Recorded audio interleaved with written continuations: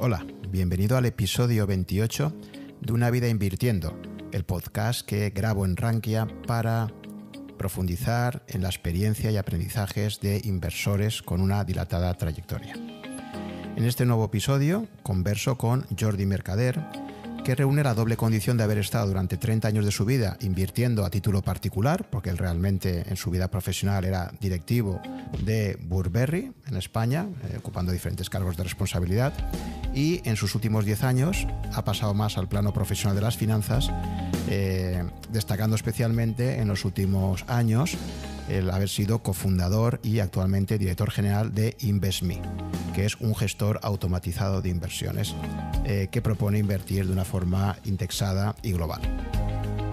Eh, en esta conversación repaso la trayectoria de Jordi, como os comentaba, y entramos en diferentes temas muy interesantes, pues como cuáles son sus recomendaciones a la hora de hacer un, un plan de inversión a largo plazo, la influencia que tiene los sesgos cognitivos en nuestras decisiones de inversión, ¿Qué papel cree que pueden jugar los fondos socialmente responsables en el presente y en el futuro de las inversiones? O el papel también de la inteligencia artificial en el futuro de la inversión.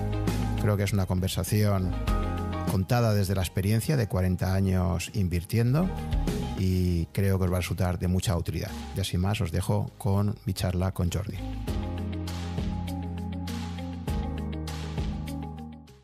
Hola Jordi, ¿qué tal? ¿Cómo estamos? Hola Juan, muy bien. Muchas gracias por invitarme a tu podcast. Oye, pues nada, un placer Jordi y como siempre lo que me gustaría que nos empezaras contando es eh, tu trayectoria profesional, sobre todo para, para, entender cómo llegas al mundo financiero, cómo empiezan a atraerte las inversiones, en tu caso personal, y de ahí luego que nos expliques cómo llegas al proyecto profesional actual que tienes, que es el de InvestMe. Entonces, en primer lugar, pues eso, empieza por favor comentándonos eh, cómo te introduces en el mundo de las inversiones y de ahí luego cómo, cómo acabas llevando a, tu proyecto actual. Eh, bueno, yo digamos que empiezo un poquito a hacer un recopilatorio de mi vida profesional y a partir de ahí ir enlazando con mi vida actual. Básicamente yo estudié en ESADE, eh, hice económicas, perdón, empresariales y ahí ya tuve mi primera conexión porque recuerdo haber cogido algunas asignaturas eh, relacionadas con, la, con el mundo de la inversión. Recuerdo algo así como análisis bursátil y valoración de empresas. O sea que, de alguna forma, desde que estudié ya tenía cierta conexión con el mundo de inversión. Pero la realidad es que, que ni mucho menos empecé eh, en el mundo financiero. Eh, por conexiones familiares, yo empecé, mientras estudiaba, ya empecé a trabajar en una empresa que se llama Burberry, Burberrys en castellano, la gente lo conocerá aquí en España por Burberrys, es una empresa de, de, moda. Eh, y básicamente ya desde que mientras estudiaba empecé a hacer allá pues de un poco de todo, ¿no? Um, cuando acabé la, carrera eh, entré en, en, la como controller de la compañía, o sea, bueno, eh, viendo finanzas pero desde el punto de vista de, de empresa. Eh, no voy a explicar mi carrera entera ya porque fueron casi 30 años, pero de alguna forma allá eh, me formé en temas financieros, obviamente, pero enseguida me metí en temas operativos. Eh, y estuve llevando una división de, de producto, eh, que tuve la, suerte de hacerla crecer eh, bastante. Y después eh, llegó un momento que pasé a la dirección de la compañía gracias a un proyecto informático que, que se hizo ahí, y esa es una, una de mis conexiones con la tecnología. la empresa decidió implementar, implementar SAP, ¿eh? un, un, un, ERP, y ahí también tuve mi primera conexión con la, con la tecnología. Eh, ya te digo, eh, en, esa, en esa etapa que fue muy larga, pues eh, tuve conexiones con finanzas empresariales, con tecnología, tuve también la suerte de, de vivir eh, una salida a bolsa, porque en el año 2000 la, la, empresa española, que es donde estaba yo, pues fue adquirida uh, o integrada en la compañía inglesa que salió a bolsa. Uh, tuve la suerte de participar en la, en la IPO, que se dice en inglés, en, la, en la salida a bolsa, en la, una UPV, y, y, transmitir, uh, pues bueno, desde, desde una desde el director financiero, pues cuáles eran las virtudes de la compañía, o sea, vender la compañía. Uh, y digamos, después en, a partir del 2005 fui el director general de la compañía en España. Eh, y me dirás, ¿qué tiene que ver esto con las finanzas? Pues la verdad, la verdad es que muy poco. La verdad es que yo mientras llevaba esta vida profesional, llevaba una vida paralela, positiva en este caso, no, no negativa, de, eh, bueno, interesarme por las finanzas personales. Yo seguramente mi primer... Eh, mi primera decisión de inversión fue comprarme mi vivienda, mi vivienda habitual, ¿no? seguramente esa fue mi inversión inicial. Cuando tuve la suerte de, de, poderme cambiar de vivienda en un momento determinado, pero hubo un periodo de, de tiempo en el que dispuse de, de, liquidez. Y creo que ahí es cuando me metí en serio a invertir, ¿no? Es decir, que me encontré con un dinero en el bolsillo, digo, bueno, hasta que no me compre otro piso, ¿qué hago con este dinero? Entonces, bueno, eh, se me ocurrió empezar a, a invertir, ¿no? Eh, Cosa que. Perdona, Jordi. Entonces, eh, pero ese cambio de vivienda lo hiciste sin tener claro dónde ibas a vivir a continuación. Porque típicamente uno, uno vende el piso para comprarse otro, ¿no? La, la, vivienda, ¿no? Y en tu caso no era así. Sí, era un poco así porque eh, eh, creo recordar que era una vivienda que estaba en construcción. O sea, fíjate que si lo mirado con perspectiva fue un error porque yo sabía que en un año y medio, máximo dos años, tenía que disponer de ese dinero para, para invertirlo y bueno, mientras tanto estaba en mi disposición, decidí tomar ciertos riesgos e invertirlo, ¿no? Eh, o sea que, que, de alguna forma es una cosa que ahora mismo no aconsejaría hacer, pero bueno, eh, en ese momento tenía la edad que tenía y tenía mi, la formación que tenía y, y, y, decidí empezar a sacarle un poco de rentabilidad en, a, a, mi dinero, ¿no? Eh, esa seguramente fue mi segunda, mi segunda decisión de inversión. Después podemos entrar cómo lo hacía. Eh, y a posteriori, yo en mi vida personal, a la que hice un poco de patrimonio, empecé, cada vez dedicaba más con mi tiempo libre a formarme, eh, pero sobre todo formándome, tomando decisiones, ¿eh? es decir, invirtiendo y equivocándome. ¿no? Puedo explicar 25 equivocaciones seguro, pero creo que esto con el tiempo, con el tiempo es lo que me ha permitido pues, realmente aprender cómo invertir para acabar con mi trayectoria profesional, yo en el 2010 eh, la compañía eh, donde yo estaba, que era, era la sucursal en España, eh, decidimos eh, concentrarla en el Reino Unido. Eh, yo hago la, todo el proceso de downside de la compañía, eh, que también fue un, un, proceso pues interesante y muy y muy a la vez muy difícil. Pero bueno, digamos que en el 2010 cambió radicalmente mi vida personal.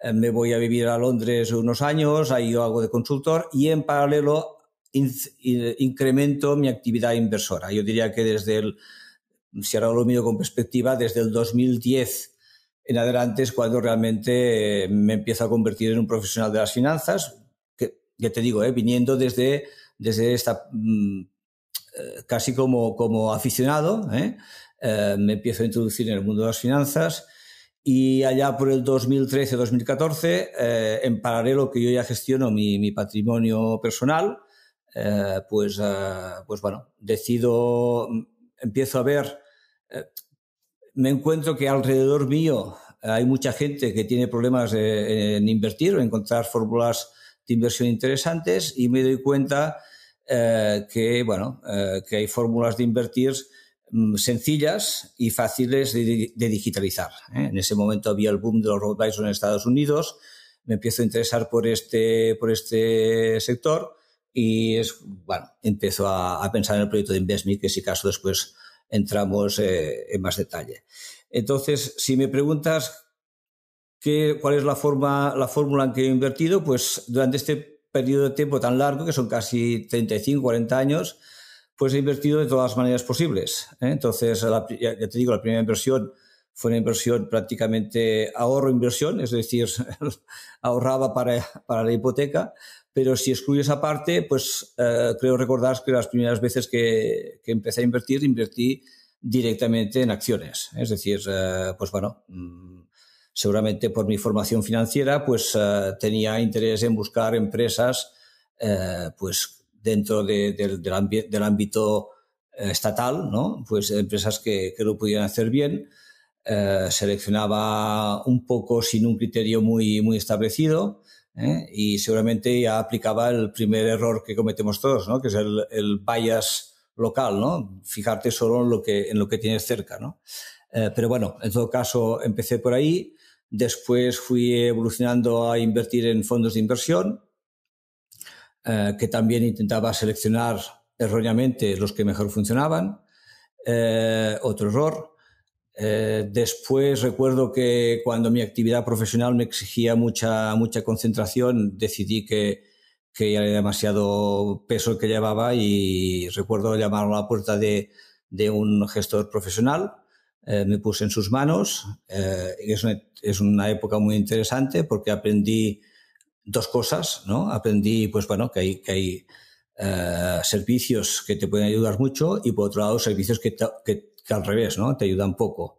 Eh, pero bueno, empecé a entender conceptos de planificación financiera, de, de, bueno, de, de, diversificación y de alguna manera, eh, a la, en medida que me ponía en manos de otros profesionales, cada vez veía, eh, tenía más interés en eh, yo mismo formarme y profundizar en, en fórmulas de invertir eh, más, eh, que yo controlara. Es decir, aunque en algún momento puse mi patrimonio a, invertir a través de, servicios externos o servicios profesionales, siempre me guardaba un trocito para competir yo con ese, con ese servicio, ¿no?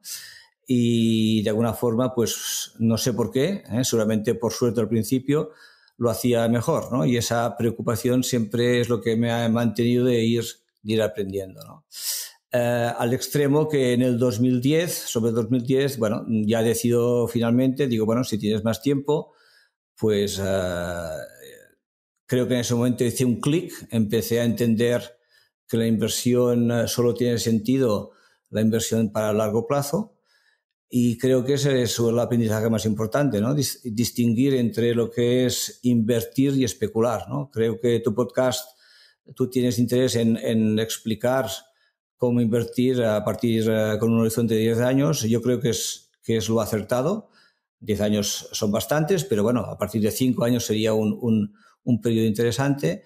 Pero realmente la primera lección que, que yo aprendí, y lo aprendí muy tarde, es la diferenciación entre invertir y especular. ¿no? Y eso pues lo aprendí muy tarde, pero suficientemente pronto como para que, eh, de alguna forma, con todo el background que iba adquiriendo, anteriormente, pues, eh, bueno, pues hacerme un modelo de inversión eh, que, me ha funcionado desde entonces. Curiosamente, a partir del 2010 aprendí dos cosas, a invertir, a invertir bien activamente y también a la vez y en paralelo, curiosamente, empecé a interpretar lo que era la gestión pasiva o la gestión indexada, ¿no? o la gestión con índices.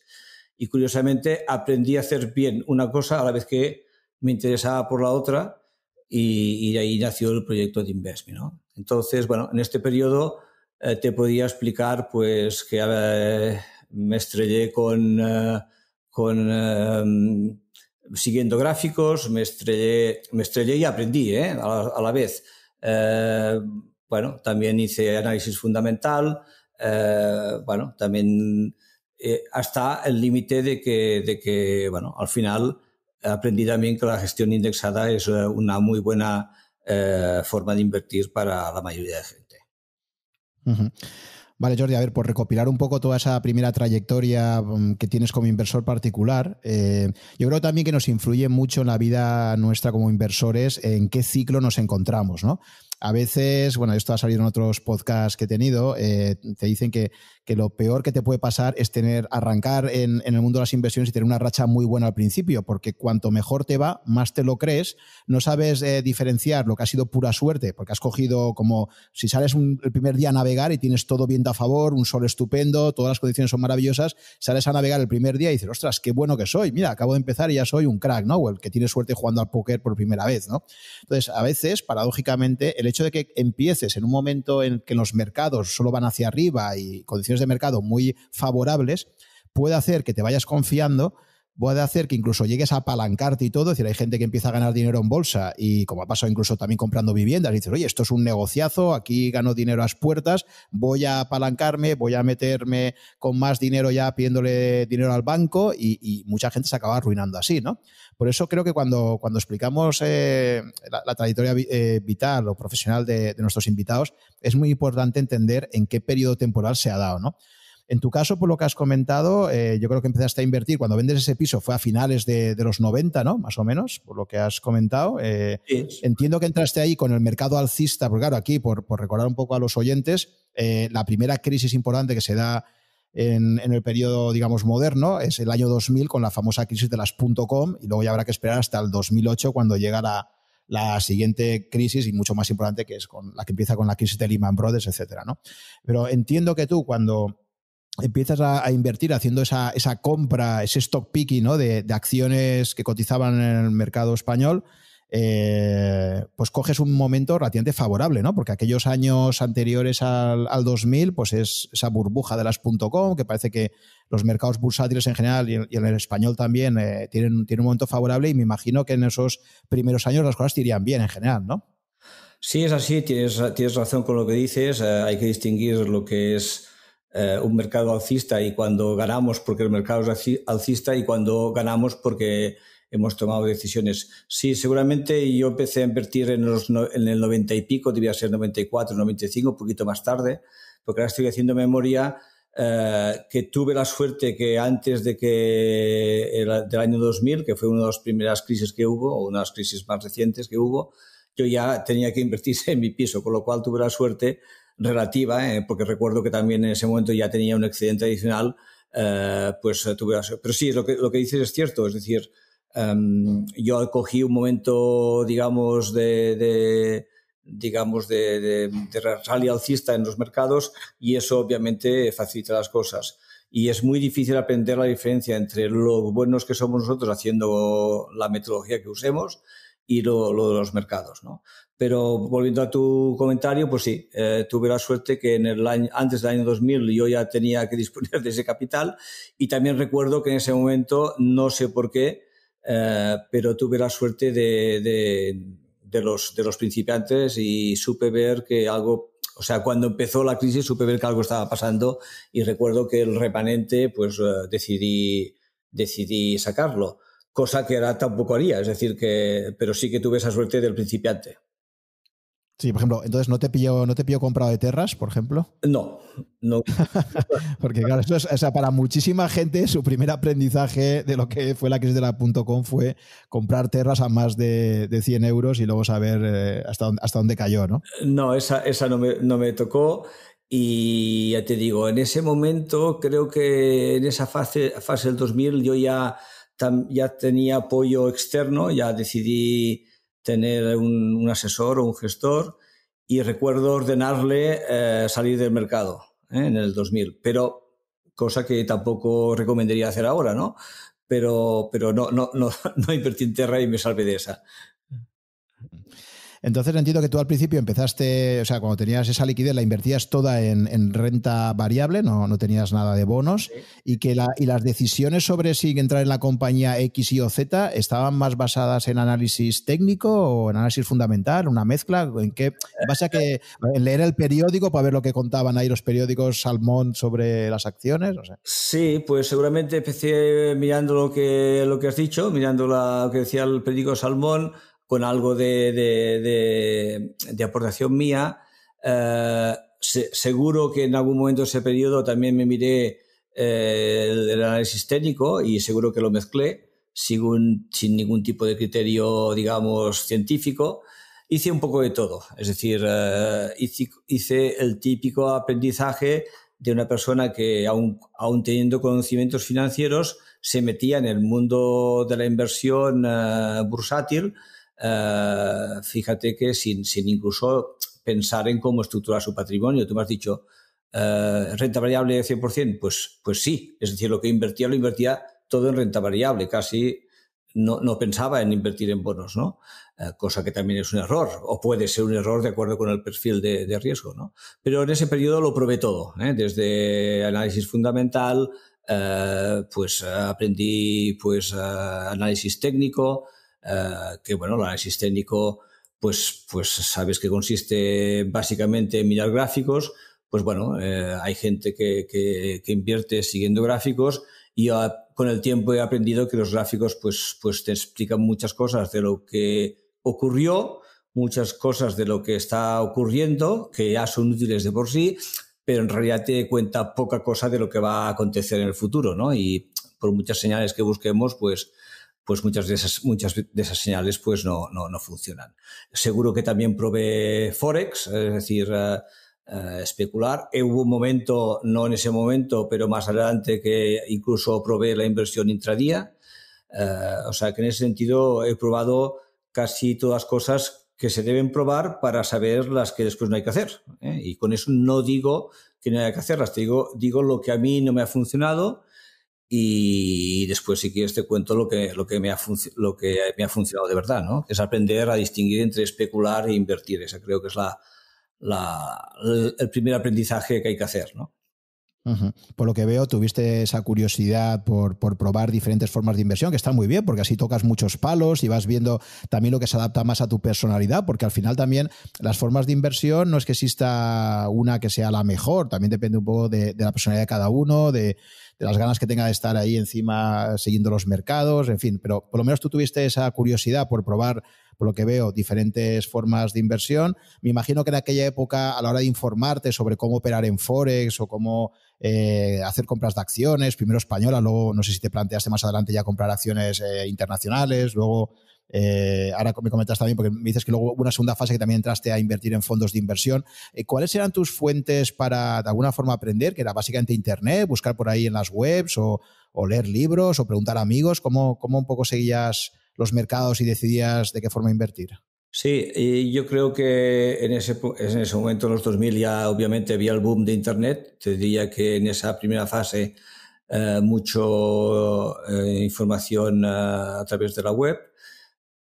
Pero después tuve la suerte de, de, de, ver que había que profundizar más y tuve la suerte de empezar a leer libros que un poco también me acercaron a una visión de más alto nivel que después me ha permitido eh, entender más de, qué va la inversión. Pero sí, creo que mm, el mérito mío eh, sería pues la curiosidad, el probarlo todo, eh, el, saber que si una cosa no te funcionaba, intentar ver por qué, dejarlo, mirar los demás cómo lo hacen y aprender algo de ellos. Y esa curiosidad creo que es lo que me ha llevado a, después, pues, ya no depender tanto de la suerte, sino depender más de dos cosas que yo considero importantes, algo de técnica y algo de comportamiento eh, como inversor, ¿no? que las dos mezcladas son necesarias para tener, para tener suerte. Eh, me preguntabas por el tema de cómo buscar información. Bueno, pues eh, por ejemplo en, en, el tema de fondos de inversión que me también preguntabas, pues recuerdo que en ese momento empezaron a salir las plataformas de, de trading y de, y de fondos, bueno, me informaba a través de esas plataformas, seleccionaba de acuerdo con los criterios, seguro que al principio seleccionaba pues por los fondos que mejor lo habían hecho, eh, que eso no, pues no tiene que ser por ninguna garantía de lo que ocurra después, ¿no? Eh, mucho, mucho por internet y después mucha lectura, mucha lectura eh, de, de, libros interesantes que, que, me han ido pues formando como, como inversor y también como persona, obviamente. Sí, y en la parte de fondos, ¿recuerdas el tipo de fondos en los que empezaste a invertir y sobre qué época fue? Sí, yo diría que esto fue la época posterior a hacer otro pequeño patrimonio después de comprarme el segundo piso eh, y debía ser entre el 2000 al 2000, del 2000 al 2010 invertí básicamente a través de fondos de inversión, sea porque los escogía directamente, sea porque tú sabes que es la forma más tradicional que un gestor, digamos, o un asesor eh, invierte cuando lo vas a, lo vas a ver. Es decir, eh, y los criterios en que escogía fondos, bueno, pues sobre todo yo me guiaba mucho por, quería siempre, casi siempre exposición a, renta variable. Seguro que al principio pues no distinguía entre riesgo y rentabilidad o lo distinguía poco, con lo cual me guiaba mucho por la, por la rentabilidad, ¿no? Eh, pero sí que recuerdo pues eh, interesarme por temas de, de, retorno absoluto, que me parecía un tema interesante, aunque después realmente hay muy, hay muy pocos uh, fondos de inversión que, que lo consigan. un poco, ya te digo, seguí con el prueba-error, pero bueno, formando un, un, caldo de cultivo que, que después me ha, me ha permitido distinguir entre, entre, lo bueno, entre lo que creo que es bueno y lo que no es tan bueno, ¿eh? porque también es cierto que lo que a uno no le funciona no tiene por qué eh, no funcionarle a otra persona, ¿no? Pero bueno, yo con este, con esta forma, con este periodo de tiempo he ido aprendiendo a, formarme o a entender cómo yo, o a, crearme una metodología propia, ¿eh? que seguramente mucha gente compartirá, que después podemos comentar qué es lo que hago en estos momentos, ¿no? ¿Y, cómo te coge la crisis del 2008? ¿Te pilla muy invertido y sufres eh, pérdidas patrimoniales importantes? ¿O también, como te pasó una del 2000, tienes la suerte o, la habilidad de alguna forma de, ver venir la crisis y reduces bastante tu exposición a la renta variable? Pues mira, en ese momento recuerdo perfectamente que, que en ese momento, pues por cuestiones profesionales, yo dedicaba poco tiempo a este tema y estaba asesorado y recuerdo llamar a mi gestor y decirle, oye, eh, al principio de la crisis de ver que algo estaba pasando y de pedirle que, se, de que saliera de forma, eh, o sea, que de vender casi todas mis posiciones. Y tuve mm, bastante suerte, seguro que estaba ya bastante expuesto, pero tuve la suerte de, de, salir, de salir eh, pronto y que no me cogiera la crisis financiera, ¿eh? lo cual pues ahora mismo tampoco es un tema que recomendaría, ¿no? Porque igual que yo tuviera suerte saliendo, ¿eh? pues a lo mejor no, no mm, alguien no hubiera acertado después la forma de entrar. También más o menos acerté cuando había que entrar, ¿eh? pero honestamente fue más suerte en esos momentos que no, que no eh, digamos, inteligencia o, una visión especialmente lúcida de, o, una capacidad que, es muy difícil de tener, aceptar el timing. Pero no, Entonces se puede, tuve la suerte de capear bien el, capear bien el, el, temporal. O sea que, digamos, en general, la suerte te ha acompañado y no has llegado a vivir situaciones que han sido muy habituales para muchos inversores particulares de encontrarse con un menos 30, menos 40% en su patrimonio invertido en acciones como consecuencia de, caídas del mercado bruscas, como la que se produjo en el 2008, por ejemplo, y te encuentras, y esa es un poco la prueba de fuego de muchos inversores que sí que te dicen, no, no, aquí hay que ir a largo plazo, lo tengo muy claro, incluso la gente que ha establecido un plan de inversión, pero cuando de repente se encuentra con situaciones como la del 2008, como la que hemos podido vivir eh, en el mes de marzo, que fue una caída muy abrupta, que luego ha recuperado rápido, pero diciembre de 2018, etcétera. Esos momentos que son un poco la prueba de fuego para todos aquellos inversores que, que entran en los mercados con la teoría aprendida, pero que hasta que no vives en tus propias carnes una caída fuerte de tu patrimonio y luego tienes que darle explicaciones a tu pareja, a tu entorno familiar, ¿no? Eh, pasar por esas situaciones es lo que yo creo que acaba eh, marcándote mucho como inversor, ¿no? Hasta que no haces ese bautismo de fuego, ¿no? Es como entrar en guerra, digamos, realmente no, hasta entonces digamos que estás tocando de oídas, ¿no? No sabes lo que es tener que soportar una posición de pérdidas significativas en tu patrimonio y seguir eh, apostando a largo plazo o seguir eh, staying the course, como, diría eh, Jack Bogle, ¿no? Del cual hablaremos luego seguro. Sí, sí, digamos que, bueno, yo creo que en ese momento ya tenía una cosa clara, que era que había una parte de mi, de mi patrimonio que no debía invertir, ¿vale? Entonces, en ese momento debía ser más intuición, es lo que ahora llamaría tener un fondo de emergencia o un colchón de emergencia. Yo creo que en ese momento tenía claro que ahí había un capital que podía invertir y otro capital que no podía invertir. Entonces, aunque me cogiera alguna caída, me debía coger, no solamente del 30, estas las he vivido más en el periodo que considero que sé invertir, pero digamos, digamos en el momento que no sabía invertir, tuve la suerte de, de seguramente no vivir eh, en mis propias carreras un menos 30. Pero creo que eh, sí que vivir un menos 10 o un menos 15, creo que en ese momento ya tenía la, la intuición que había, una, que había una parte de mi patrimonio que no debía invertir, ¿eh? que esa sería la primera regla a aprender, ¿no? Hacerse un colchón de emergencia, un fondo de, emergencia, que yo considero que debe ser, pues, idealmente de, de, seis meses a dos años, ¿eh? es decir, tener en una cuenta corriente, en, en, un depósito, si tenemos algún depósito que nos dé algún aunque sea un pequeño interés, un capital que nos sirva para cubrir eh, bueno, los gastos que podamos necesitar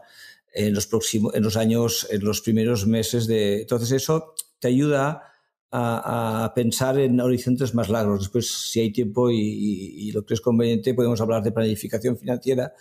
Yo diría que esa parte es, es casi también muy importante, o sea, la tercera pata como para invertir bien, ¿no? Saber uh, pensar en horizontes y saber distinguir lo invertible de lo invertible. ¿eh? Pero sí, tuve esa, esa suerte, esa suerte. ¿eh? Digamos que caídas del 30, 35, 40 y 50% los he vivido después a posteriori. Uh, he vivido la crisis del COVID totalmente invertido uh, y he visto en, en, una parte de mi cartera caídas del 35-40% y no me he inmutado. Uh, y he vivido, pues no sé, por ejemplo, en el 2018 Uh, no, creo que fue a finales de 2018 caídas del 15 o 20% y, ta y también aprendí a no inmutarme. Es decir, que en ese periodo tan largo aprendí a, a, a, a bueno, invertir en el largo plazo y a saber que, esas, que hay parte de, eh, una parte importante de lo, de lo, que ocurre en el mercado que no depende de nosotros, pero que por otro lado hay otra parte, hay otra realidad en el mercado que es la tendencia alcista latente que tiene el mercado. ¿no? Entonces, cuando empiezas a entender eso, es cuando empiezas a pensar en invertir a largo plazo y eso creo que es un clic definitivo para cualquier inversor. Hmm. Y también en todo ese periodo previo de inversor particular has comentado que tuviste un gestor profesional, un asesoramiento profesional, con lo cual por ahí supongo que también tendrías un aprendizaje, una experiencia de lo que supone pagar por asesoramiento financiero y un poco el retorno que obtienes de esa inversión, ¿no? Eh, un poco cuáles serían tus conclusiones o qué aprendiste en ese proceso que quizás te pudo influir también luego a la hora de, de montar Investme. Sí.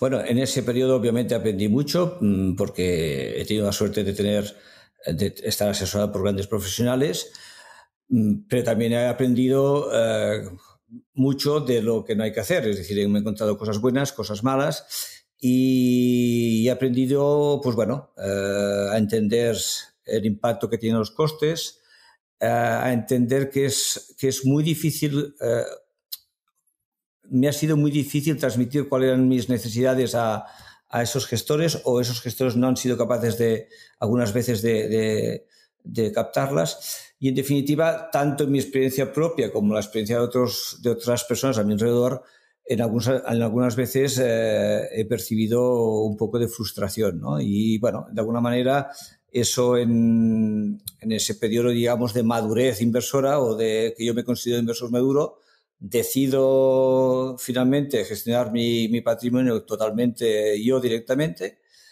y decido hacerlo eh, con una combinación de, de, de estrategias eh, que después podemos comentar, pero viene un poco de esa, de esa frustración o de que en ese momento yo había aprendido una serie de cosas que me hacían tener muy claro lo que debía hacer con mi patrimonio. Y a veces, pues bueno, eh, ya no necesitas pues pagar un 2, un 3%, que es lo que realmente te cuesta un servicio de, de calidad, ¿no? Sí. Eh, vale, ¿y en qué momento, porque entiendo que esto será previo a la creación de InvestMe, lógicamente, ¿en qué momento descubres eh, la estrategia basada en la indexación? Eh, porque tú hasta entonces habías sido básicamente un inversor de gestión activa, elegías o bien acciones directamente o bien fondos, pero entiendo que, que tenías una, una visión basada en, en, en, entrar en aquello que considerabas que estaba más barato que lo que el mercado decía, ¿no? Básicamente. Eh, y en algún momento, pues supongo que acabas descubriendo el mundo de la indexación. No sé si lees algún libro de, Jack Bogle o, cuáles son un poco cuáles son las fuentes que te llevan a, descubrir todo este mundo de la indexación y, y, que poco a poco empiezas a pasar una parte de tu cartera hacia la indexación. Entiendo que eso fue, no sé si fue, si empezaste a hacerlo antes de la creación de InvestMe o ha sido solamente a partir de la creación de, sí. de este gestor. Sí, curiosamente yo aprendo a, a, gestionar activamente mis inversiones bien, a lo que yo considero bien, eh, al mismo tiempo que aprendo la indexación. Es decir, es cuando yo me libero de mi actividad profesional que, que, que tenía en ese momento, eh, donde tengo más tiempo y decido eh, gestionarme totalmente eh, mi patrimonio. Primero decido volver a la inversión directa, gestión activa pura, Uh, ahí dedico muchas horas uh, a, seleccionar información o a seleccionar fuentes de información. Yo considero que una persona uh, particular es muy difícil que tenga todas las fuentes de información y si, si quiere hacer stock picking, pues puede ser bueno partir de algo que ya te, que ya te suministran. Eh, y eso es lo que empecé haciendo. Eh, y a la vez que hacía eso y que me iba bien haciendo eso, me doy cuenta de que una parte de lo que hago bien no deja de ser la, la, suerte del mercado, es decir, o la suerte de escoger bien eh, o de acertar en ese momento un modelo un tipo de inversión, que en ese momento me decidí invertir por, por empresas disruptoras y, cualquiera que haya sido el mercado sabe que pues, pues desde el 2010 hasta ahora pues la tecnología, todo lo que ha sido eh, sector tecnológico, empresas de, disruptoras pues han tenido un rendimiento muy fuerte o muy importante. Es curioso que aprendo eso, aprendo a invertir eh, directamente, aprendo a invertir en opciones, en derivados, en futuros, me va bien, pero a la vez aprendo eh, que me va bien porque estoy invirtiendo a largo plazo, porque me miro, en cierta manera, me lo miro como el señor Warren Buffett, pues si invierto en Tesla, que tuve la suerte de invertir cuando estaba a 30 dólares, estoy apostando porque esa compañía está, va a hacer algo grande y, lo vas siguiendo y vas viendo que va madurando y vas apostando y poniendo más dinero sobre la compañía. Aprendo que eso a la vez eh, hay otra forma de hacerlo mucho más simple, que es indexándose. Es decir, que es curioso que, que, a partir del 2010 se me abren dos fuentes de, inversión o dos formas de invertir que me funcionan muy bien. Eh, la indexación la descubro un poco por casualidad. Eh, porque tal como te decía, en mi entorno pues veía gente que, que no tenía suerte o, que no tenía medios o que no tenía la capacidad para invertir. Y recuerdo que el caso que me hizo empezar fue el caso de mi hija. Mi hija tenía, no sé si eran 10.000 euros en ese momento, y es una cosa que cuento en, nuestro blog. Y dije, bueno, pues vamos a ver qué nos dan los bancos. Esto debía ser el año 2011, 2012. Y bueno, empezamos a tocar los bancos y bueno, obviamente pues no le daban nada. Entonces dije, ¿sabes qué? Mi hija se llama Laia, dámelo, te lo voy a gestionar. Y empecé a gestionarlo como gestionaba yo pues mi patrimonio, ¿no? Invirtiendo directamente en acciones. Y me di cuenta que eso eh, pues no funcionaba, ¿eh? no funcionaba para una persona que no entiende eh, pues lo que es la volatilidad, las apuestas hacia empresas determinadas pues fructifican a largo plazo y vi que eso no podía ser, no, no, era acertado para el caso de mi hija. Entonces me empecé a interesar por la indexación y la primera cartera indexada que hice fue, fue la cartera de mi hija. Eh, y un poco a raíz de esto descubrí pues que esa cartera que, que, había empezado yo a hacer, con, me parece que lo hice con ETFs al principio, pues que eso existía un modelo de negocio en, en Estados Unidos que se llamaban los robo advisors y que era un sistema ideal para acercar la inversión a, cualquier inversor, ¿no? Y a partir de, pequeños importes. Y eso fue un poco la, no sé, el, primer, el primer eslabón de la cadena que me llevó, que me llevó con el tiempo a, a o, a crear el proyecto Investme. Es un poco entender que la gestión que hacía para mí eh, y que, bueno, que digamos sofisticada, pues yo la podía llegar a entender y que eh, difícilmente un inversor eh, de la calle, eh, pues de alguna forma podría aceptar. ¿no? Entonces, esa, esa, dicotomía me hizo pensar, seguir un poco con, con, con, mi cartera activa, que después fui dejando también, y después te explicaré por qué, y a la vez interesarme por la indexación, interesarme por, por, por eso y cómo poner eso al alcance de, de, de mucha gente. ¿no? Sí, ahí fíjate que de lo que has comentado, eh, claro, es que la gente que haya empezado a invertir hace poco tiempo tiene que entender que eh, las posibilidades, los instrumentos que tenía para invertir eh, el inversor en, España han cambiado muchísimo en los últimos 30 años, claro, porque fíjate, tú has mencionado dos cosas, el, hacer stock picking, no lo mismo tenerlo que hacer solo sobre empresas del IBEX 35, que era lo que básicamente se podía hacer, porque un inversor anterior al 2000, pues básicamente te podías comprar eso, una empresa del IBEX o del mercado continuo español, ¿no? Eh, y luego ya se va ampliando cada vez más y hoy en día pues, pues, cualquier inversor puede operar a través de su banco, su broker, comprándose cualquier acción cotizada ya prácticamente de, de la mayor parte de mercados del mundo, ¿no? Tú no te habrías podido eh, tener esa subida, porque fíjate que el IBEX en los últimos, desde la última crisis, pues la verdad es que el IBEX no ha tenido un comportamiento precisamente muy positivo. En cambio, la gente como tú, pues que ha comprado acciones del Nasdaq o ha comprado el SP500, eh, ha tenido un comportamiento muchísimo mejor, ¿no? Pero claro, esto no es una cosa que antes fuera fácil de tener, ¿no? Entonces, primero, la amplitud de mercados que se nos ha ido abriendo a los inversores particulares. Y segundo, la propia indexación. La indexación como idea está fenomenal, pero la realidad, eh, yo creo, por lo que recuerdo, yo creo que hasta hace unos 10 años, un inversor particular, eh, fondos indexados eh, a España prácticamente no habían llegado. Los ETFs quizás estaban empezando a llegar un poquito, pero claro, eran instrumentos que no eran habituales. Entonces, tanto el poder invertir en mercados internacionales como el poder invertir de forma indexada para un inversor particular, la verdad es que son dos grandes instrumentos que se os han abierto, digamos, en los últimos años, que no, no es algo que podías tener tú en el año 2000, por ejemplo. Sí, sí, eh, Juan, tienes toda razón y es una cosa que, yo me olvido eh, y es esa, esa, componente que te he comentado al principio, ¿no? Yo, yo en mi vida profesional siempre he tenido interés por la tecnología y eso me hizo eh, intentar descubrir pues, el mejor broker, el mejor servicio digital y en ese sentido tuve la suerte de, descubrir plataformas que, que me acercaron a todo eso que tú has dicho.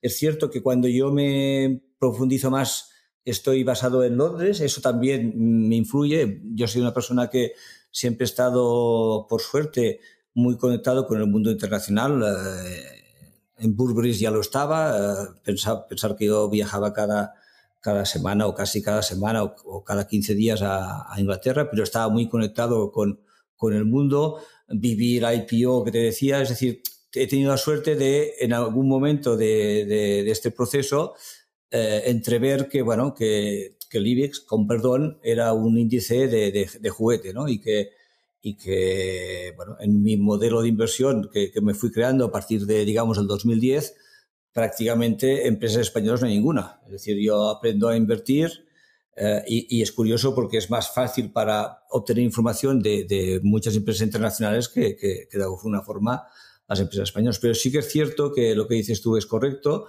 Eh, que digamos que los últimos 10, 15 años, seguramente los 10 más que, más que los, los 15, se abren unas posibilidades de que un inversor desde el sofá de su casa tenga una, una cantidad de información eh, infinita y una capacidad de invertir en activos eh, diversos que no teníamos en el año 2000, por ejemplo.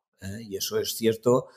digamos que mi acierto fue saber que, bueno, que había otro mundo más allá del IBEX, ¿no? Y eso realmente, eh, pues fue una gran suerte.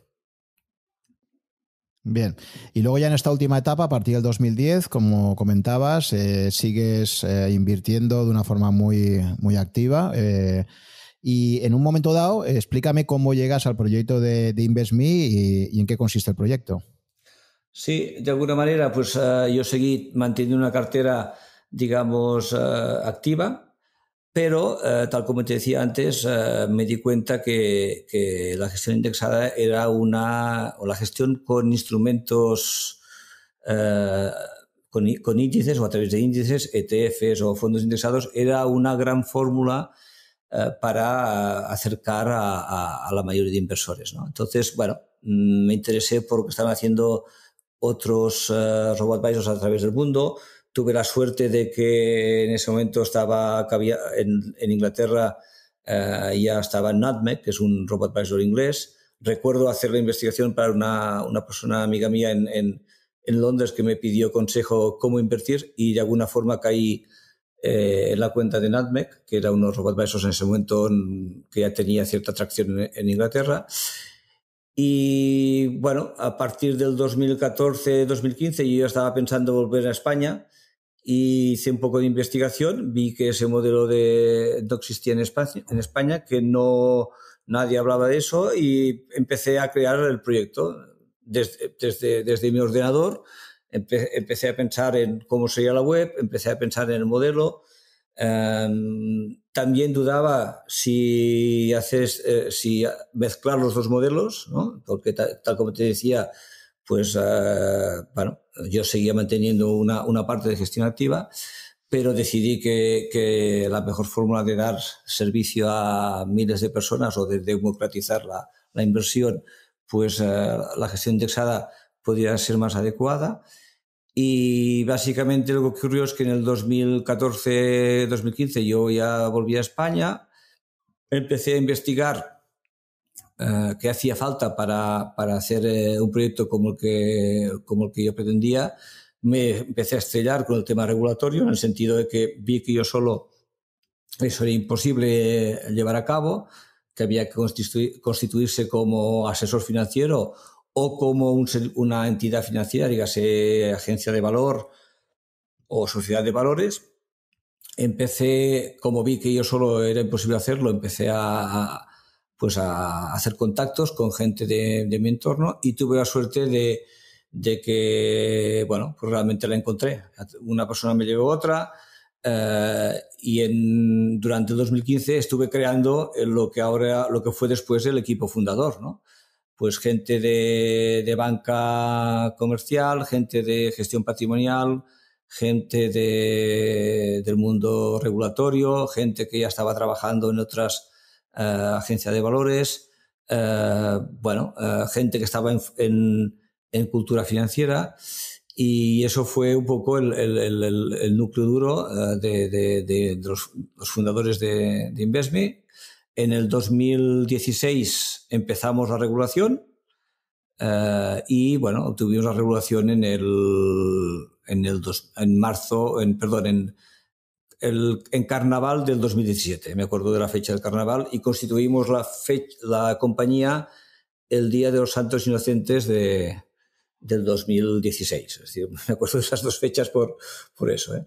Y bueno, básicamente si quieres te cuento un poco la filosofía de origen de Investme. Investme nace, eh, si te fijas, el, nombre lo, busqué yo mismo y básicamente mi pretensión era, eh, o la misión de Investme es ayudar a la gente a invertir mejor y a invertir mejor pues de una forma lo más personalizada posible, ¿no? Eh, y de ahí el nombre, Investme, inversión, mejor y, personalización, ¿no? Si te fijas están las, las tres conceptos en la, en la palabra. Y eso es un poco lo, que, lo que motivó el, proyecto. Había también, eh, también tiene una misión de, de, culturizar la gente o de añadir cultura financiera. Eh, la gente que nos, que nos sigue, que nos conoce, verá que, que nuestro blog es muy extenso. También escribimos en Rankia, por ejemplo, porque independientemente de intentar democratizar la, la inversión, también está en, nuestra, en nuestro ADN, pues bueno, intentar ayudar a, a la gente a invertir mejor, es básicamente eh, eh, lo que intenta InvestMe. Y la indexación es más un, medio que un fin. ¿eh? Si InvestMe un día puede decidir, independientemente de proponer carteras indexadas, que es lo que evidentemente hacemos, pues ofrecer algún otro tipo de, servicio financiero que nos parezca útil o, eficiente para el inversor. El, en la ADN de InvestMe está, pues eso, lo que empecé a hacer para mi hija, para un amigo, para un padre, una, un amigo, eh, acercarlo a, mucha gente y, ponerlo a disposición de, todo el mundo.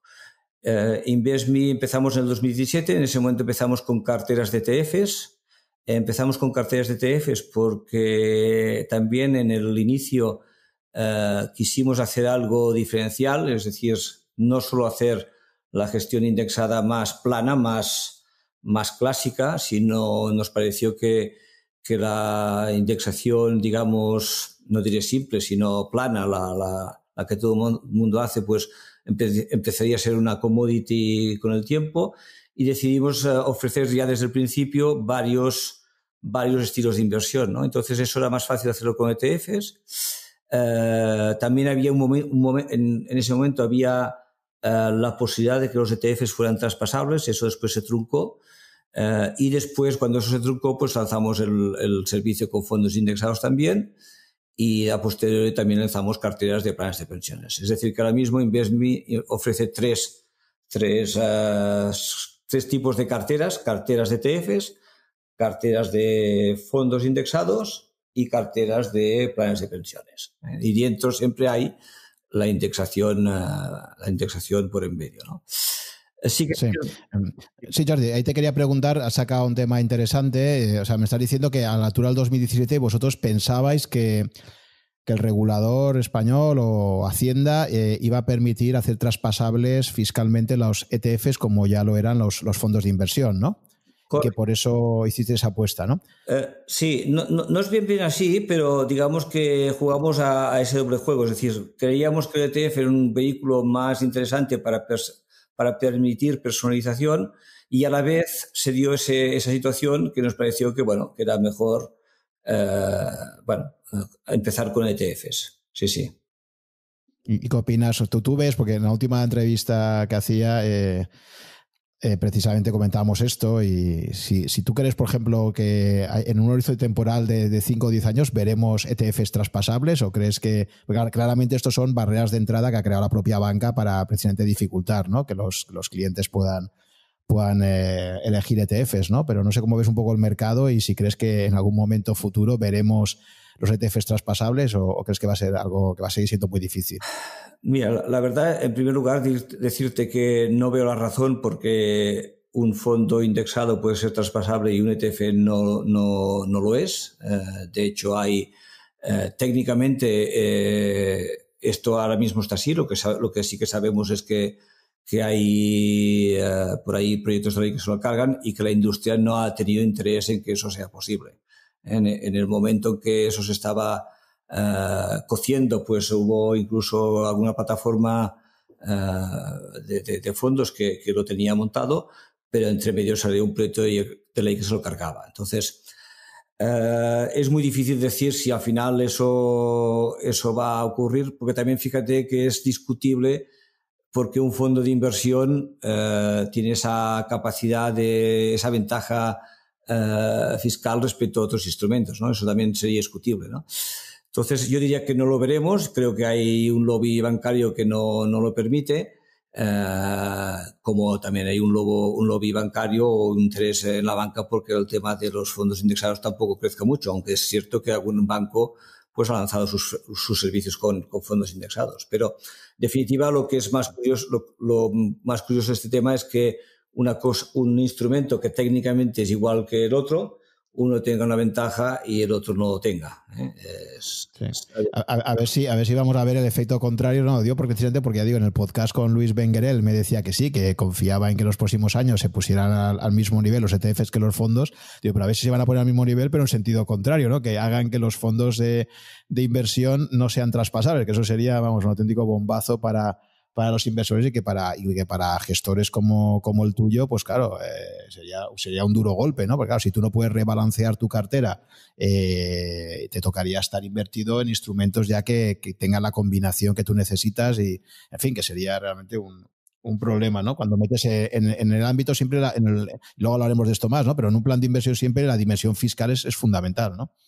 Sí, eh, fíjate que, nosotros cuando creamos eso, eh, por si acaso creamos una alternativa al diferimiento fiscal, que es lo que en inglés se llama eh, el tax loss harvesting, y es una cosa que hacemos en las carteras ETF, es decir, la solución al diferimiento hay alternativas no tan eficientes, obviamente, porque realmente es una, gran ventaja, pero hay alternativas al diferimiento fiscal que es, que es hacer, hacer lo que te hace un banquero privado cuando te invierte directamente en, en acciones o en activos que no sean fondos de inversión, que es, bueno, mm, periódicamente generarte créditos fiscales para después compensar. Y eso es una cosa que nosotros integramos en nuestras carteras de, ETFs y que hacemos de forma sistemática y automatizada. Y es una alternativa, o sea, a nosotros no nos preocuparía que eso pasara. ¿eh? No es una cosa que deseemos, obviamente, pero fíjate que sería más justo o sea, lo que no es justo es que unos sean diferibles y otros no. Es decir, si un fondo indexado o un fondo de inversión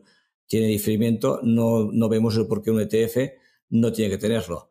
Por otro lado, si hay que igualarlo, eh, bueno, pues, eh, o sea, lo que es lo que es que estén igualados.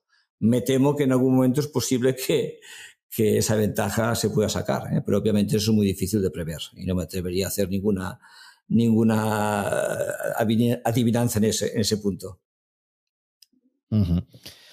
Vale, entonces tú lanzas ese proyecto, entiendo que ahí necesitáis levantar capital, porque al final para ser agencia de valores en España, pues hay unos requerimientos legales que te exige un, capital mínimo, etcétera. Es decir, no es, una, no es una inversión fácil, no es como crear una SL ¿no? con 3.000 euros, aquí tienes que partir de un capital social bastante más elevado y para ello me imagino pues que te tienes que dotar de socios. Entonces, bueno, cuéntame un poco más el proyecto en la parte empresarial. Eh, al final buscaste socios eh, Venture Capital o Business Angels o fue toda la gente que entró contigo entre todos pusisteis un poco el capital, un poco por explicar el proyecto de InvestMe, cómo se, cómo se concreta, ¿no?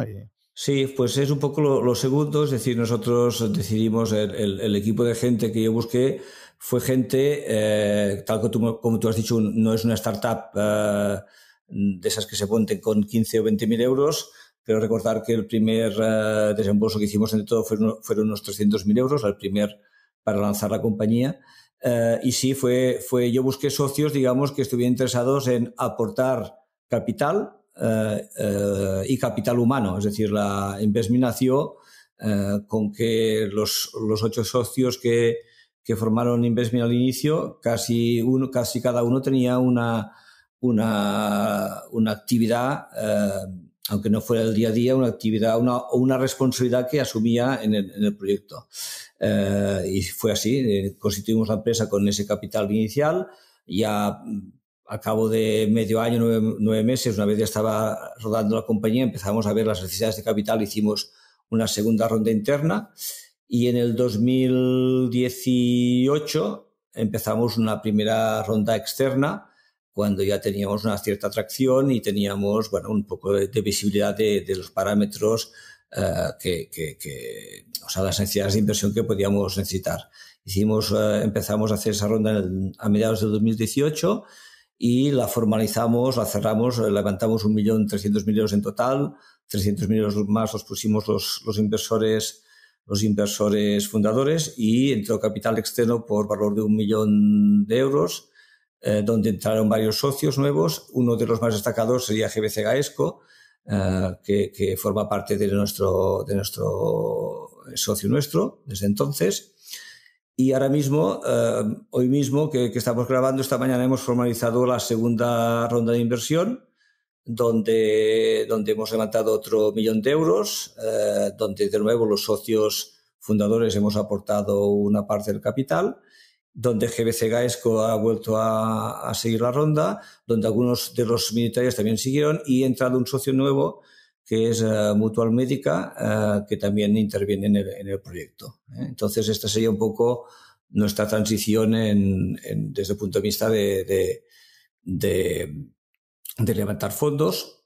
Eh, en este proceso, pues, ha sido muy importante es ir creando en paralelo un equipo potente, más allá al, al inicio, pues, porque te digo, uh, aparte de estos socios fundadores, uh, yo fiché a una persona que es el CTO, que es el que lleva, el que ha creado la, la plataforma, se llama Ferhat Zirkarov, es una persona que, que, que, que trabajaba en el Barcelona Supercomputer, uh, decidió dejar el proyecto para sumarse a Investme, también aportó algo de capital, y eh, durante el 2018, perdón, 2018, 19 y parte del 20 hemos ido pues reforzando el equipo en el día a día. Ya en total somos unas 20 personas eh, en el proyecto.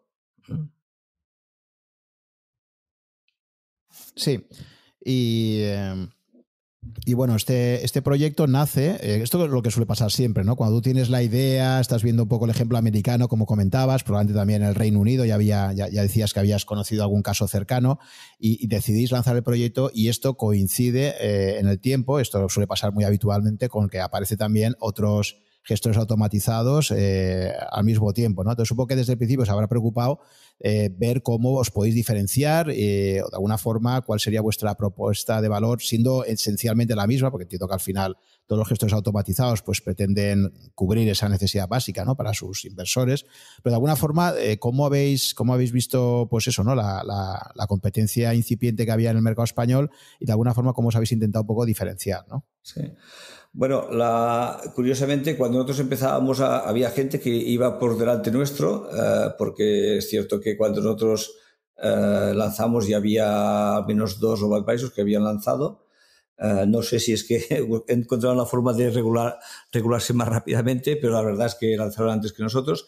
Pero curiosamente, independientemente de lo que hacían los demás, nosotros siempre tuvimos un poco esa voluntad de diferenciarnos un poco, eh, ofreciendo casi desde el principio pues eh, muy alta personalización. ¿no? Entonces en InvestMe pues siempre hemos tendido pues a tener muchos perfiles de riesgo, tenemos 11 perfiles de riesgo del 0 al 10. Eh, cada, el número indica, eh, no, cero no quiere decir riesgo cero, sino quiere decir exposición a renta variable cero.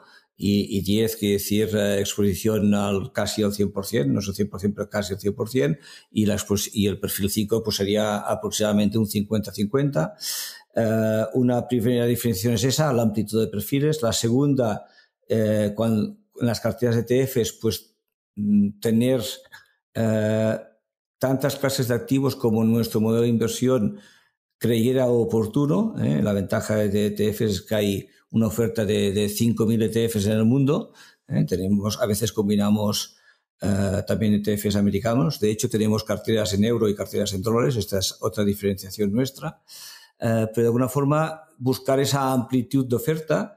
en nuestras carteras de ETFs, antes hablabas de, del oro, pues hay oro. Consideramos que el oro eh, es, un, es un activo que permite diversificar en nuestras carteras de ETFs, pues porque los, los hay, hay carteras, eh, hay, perdón, hay posiciones en oro. Pero más allá de esto, eh, creamos también un modelo que llamamos Dynamic, es decir, nosotros tenemos carteras puramente indexadas o, o donde la, la, el modelo de inversión es un modelo de largo plazo, estratégico, la distribución de, los activos está pensada de una forma, eh, le llamamos nosotros estratégica, es decir, de una visión de largo plazo. Esa, esa distribución se toca muy poco, es decir, se toca como mucho una vez al año. Eh, en función de un análisis que hace nuestro comité de inversión. Pero después tenemos una cartera en ETFs que le llamamos Dynamic. Esa cartera eh, es una cartera que, basada en la anterior, pues tiene una parte eh, que le llamamos satélite, es decir, cogemos la distribución que hacemos para la cartera estratégica y la partimos en dos, una parte le llamamos core y otra parte satélite, y esa parte satélite puede estar sometida, si, nuestros algoritmos y nuestro comité lo considera oportuno, a cambios más eh, tácticos. ¿no? Esa cartera en esos momentos, por ejemplo, está en modo protección.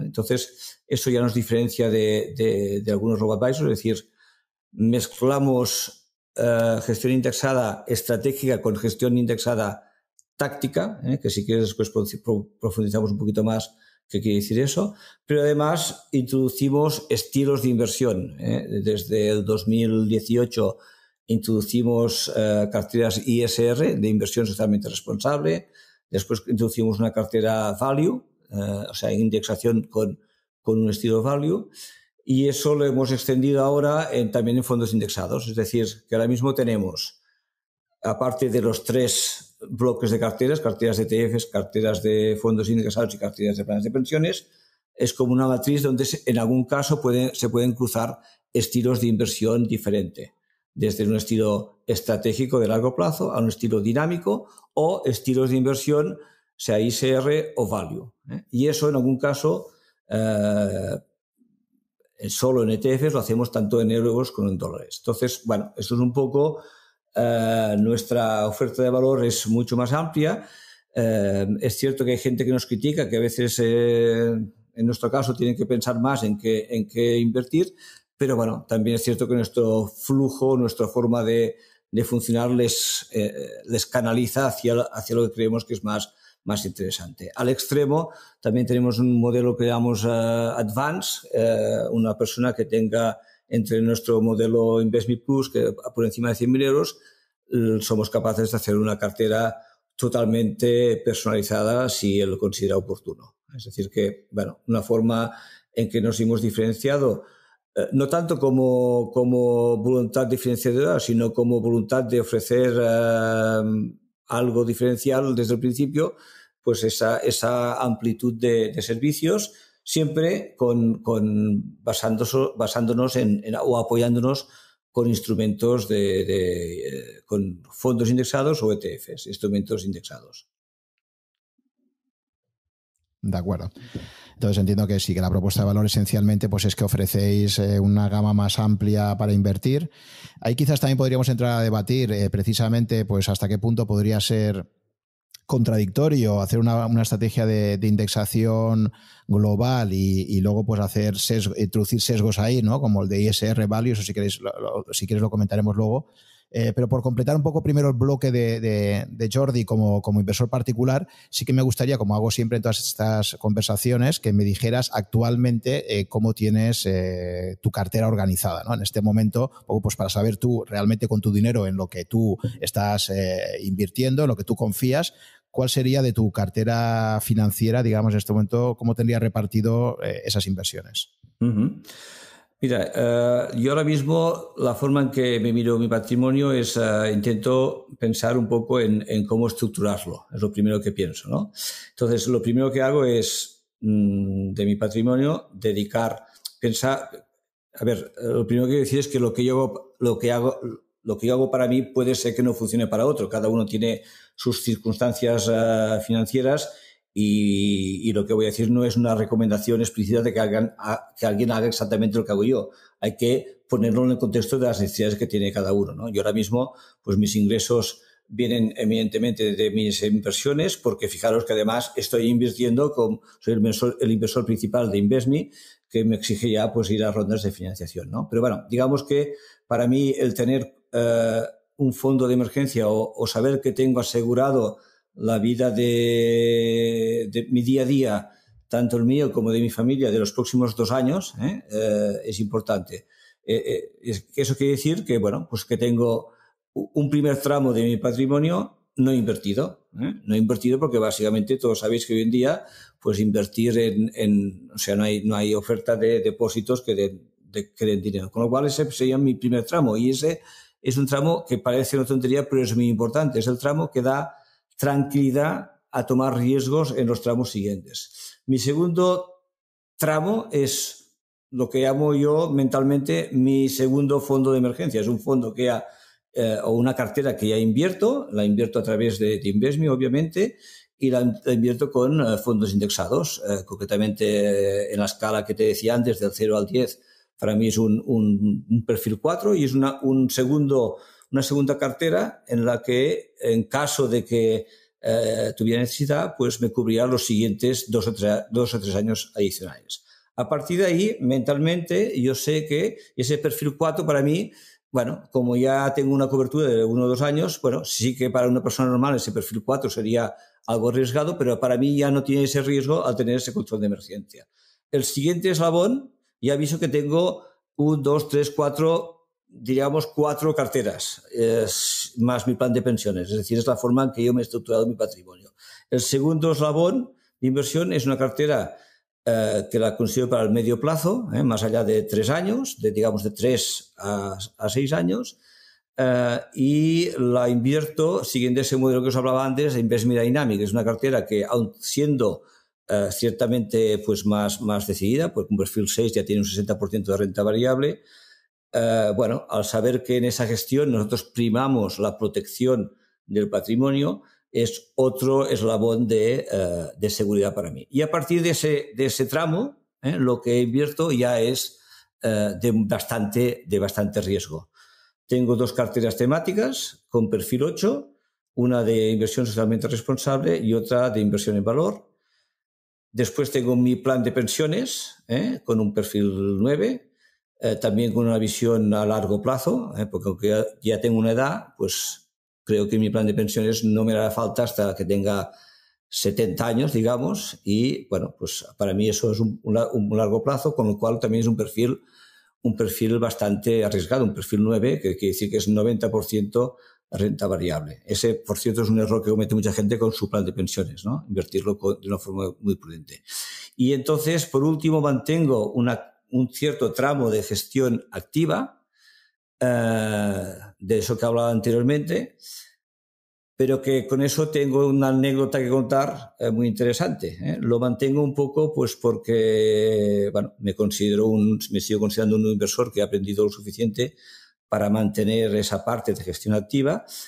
Y como he descubierto eh, que sí que se puede hacer gestión activa también de forma, de forma eficiente, pues mantengo esa, esa mm, proporción de, de, gestión activa muy enfocada a empresas de tecnología, muy enfocada a, a, empresas de, crecimiento y que, y que la verdad es que me ha dado muy buena rentabilidad eh, en estos 10 años y, y, sigue dándomela, porque sabéis que todos que la, la, tecnología ha funcionado, ha funcionado muy bien, ¿no? Y esa cartera es 100% renta variable. Entonces, bueno, eh, es una estructura muy compleja, eh, porque, bueno, yo con el tiempo, pues, eh, me ha ayudado a estructurarme. También es cierto que no hace falta complicarse la vida, tanto como la complico yo. Es decir, una persona con, yo recomendaría que sí que tuviera un fondo de emergencia, y después que empezará por el primer objetivo que, pueda tener en su, en su vida financiera. No hace falta complicarse la vida. Pero sí que en el medio largo plazo considero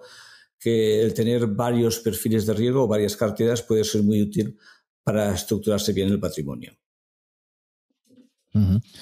Vale, y globalmente, si sumas todas tus posiciones en renta variable, en renta fija, más o menos del global de tu cartera, ¿cuánta parte tendrías ahora mismo quitando, bueno, la verdad es que has puesto un, periodo muy extenso, ¿no? Porque hay gente que recomienda ese fondo de emergencia o esa liquidez siempre disponible, hay gente que te habla de nueve meses, doce meses, tú, en tu caso tú recomiendas irte a incluso a dos años, ¿no? Decir, oye, calcula qué, gastos vas a necesitar en dos años y eso tenlo en liquidez y, no lo toques por si acaso, ¿no? Sí, fíjate que esto es, es muy personal, es decir, eh, yo prefiero tomar más riesgos en, las, en los otros tramos y ahí ser eh, muy exigente y quedarme muy tranquilo es cierto que eh, eso ese fondo de emergencia, ese, ese colchón de emergencia depende mucho de las circunstancias personales. Tal como te he dicho ahora mismo, yo tengo una, una profesión de, digamos, de riesgo, yo no tengo un sueldo. Una persona, un funcionario, pues, por ejemplo, podría tener una, una, un fondo de emergencia mucho más pequeño. Pero digamos que eso lo hago por dos temas. ¿eh? Uno, porque mi situación personal es la que es. y la segunda cosa, porque al tener ese fondo de emergencia más amplio me permite tomar más riesgos en, los otros tramos. Es una decisión que tiene que tomar cada uno, eh, pero las dos cosas funcionan. Y me decías la proporción, la proporción, yo te diría que si lo sumara todo, seguramente sería, eh, fíjate tú, y eso complementa lo que te decía, eh, como mínimo un 80% renta variable, 20% renta fija o alternativos. Si lo sumara todo, si, si hiciera de todo mi pack una, una cartera mm, única sería 80-20. Bueno, pues está muy alto, porque como hablabas de planes 4 y 6 inicialmente, pensaba que iba a estar un poco más. Sí, pero por, El, por el peso de, de lo que tengo en, en, riesgo, diría que está más en 80-20. ¿Eh? Pero fíjate que una parte de ese riesgo es un, un, riesgo atomizado por esa gestión táctica. ¿eh? Te decía que el, una de mis carteras es una cartera de Investment Dynamic, que en este momento no estaría lo que tendría que estar expuesta a renta variable. Esa cartera ahora mismo está en modo de protección. Entonces, ese 80-20, si ahora tuviera en cuenta eso, a lo mejor sería 70-30. ¿eh? Habría que hacer bien los cálculos, pero sería bastante agresivo. ¿eh? Y luego, además de, renta variable y renta fija, tienes algo de, oro, eh, algo de Bitcoin también, porque claro, ahí hay un tema macroeconómico que, creo que cada vez nos preocupa más a, muchísima gente y se está viendo reflejado incluso en los precios del oro recientemente, ¿no? Está, está, parece que están máximos, Bitcoin también empieza a subir otra vez eh, y es claramente pues la expansión monetaria que se está produciendo por parte de los principales bancos centrales del mundo para combatir primero empezó esto en el 2000, 2008-2009 en Estados Unidos, luego llegó a Europa con las famosas QE en el 2014 y, ahora, a raíz de toda la crisis del COVID, pues de nuevo se han metido eh, inyecciones monetarias tremendas, ¿no? Entonces esto lo que nos dice la macroeconomía, pues es que en algún momento esta enorme cantidad de inyección de dinero se tendrá que acabar traduciendo en inflación, ¿no? Es un poco lo que nos dice la, teoría, por lo menos clásica, inflación que a día de hoy aún no se ha producido. Eh, pero cada vez hay más gente preocupada diciendo, oye, pues si, si se está emitiendo cada vez más papelitos, papelitos que valen lo que tú quieras que valgan basado en la confianza, eh, frente a activos como el oro, que no eres capaz de poder inflar la, o sea, aumentar la, la, oferta por muchísimo que suba el precio, es una de las virtudes que tiene el oro a lo largo de los últimos 5.000 años, pues ha sido utilizado como, como refugio de valor, o Bitcoin, que también la propia tecnología te define un autómata que va generando una oferta monetaria que tiene un máximo, que será de 21 millones de unidades en el 2140 y que no se puede manipular. ¿no? Entonces, por ese motivo, eh, pues eh, cada vez hay más gente comentando hasta qué punto puede ser interesante tener una parte de tus activos en, oro o, incluso en Bitcoin eh, como una forma alternativa de protegerte frente a una posible inflación del dinero fiat. pues sí, hay una parte de mi patrimonio está en oro. Eh, por una razón fundamental. Eh, no lo he dicho, pero es, obvio que mis inversiones en este momento están todas a través de, de, InvestMe, eh, salvo que esa cartera activa pues sería una, una cartera bastante atípica. Ten en cuenta que es una cartera que no es pura indexación, aunque es una cartera que a veces pues algún cliente se interesa por ella.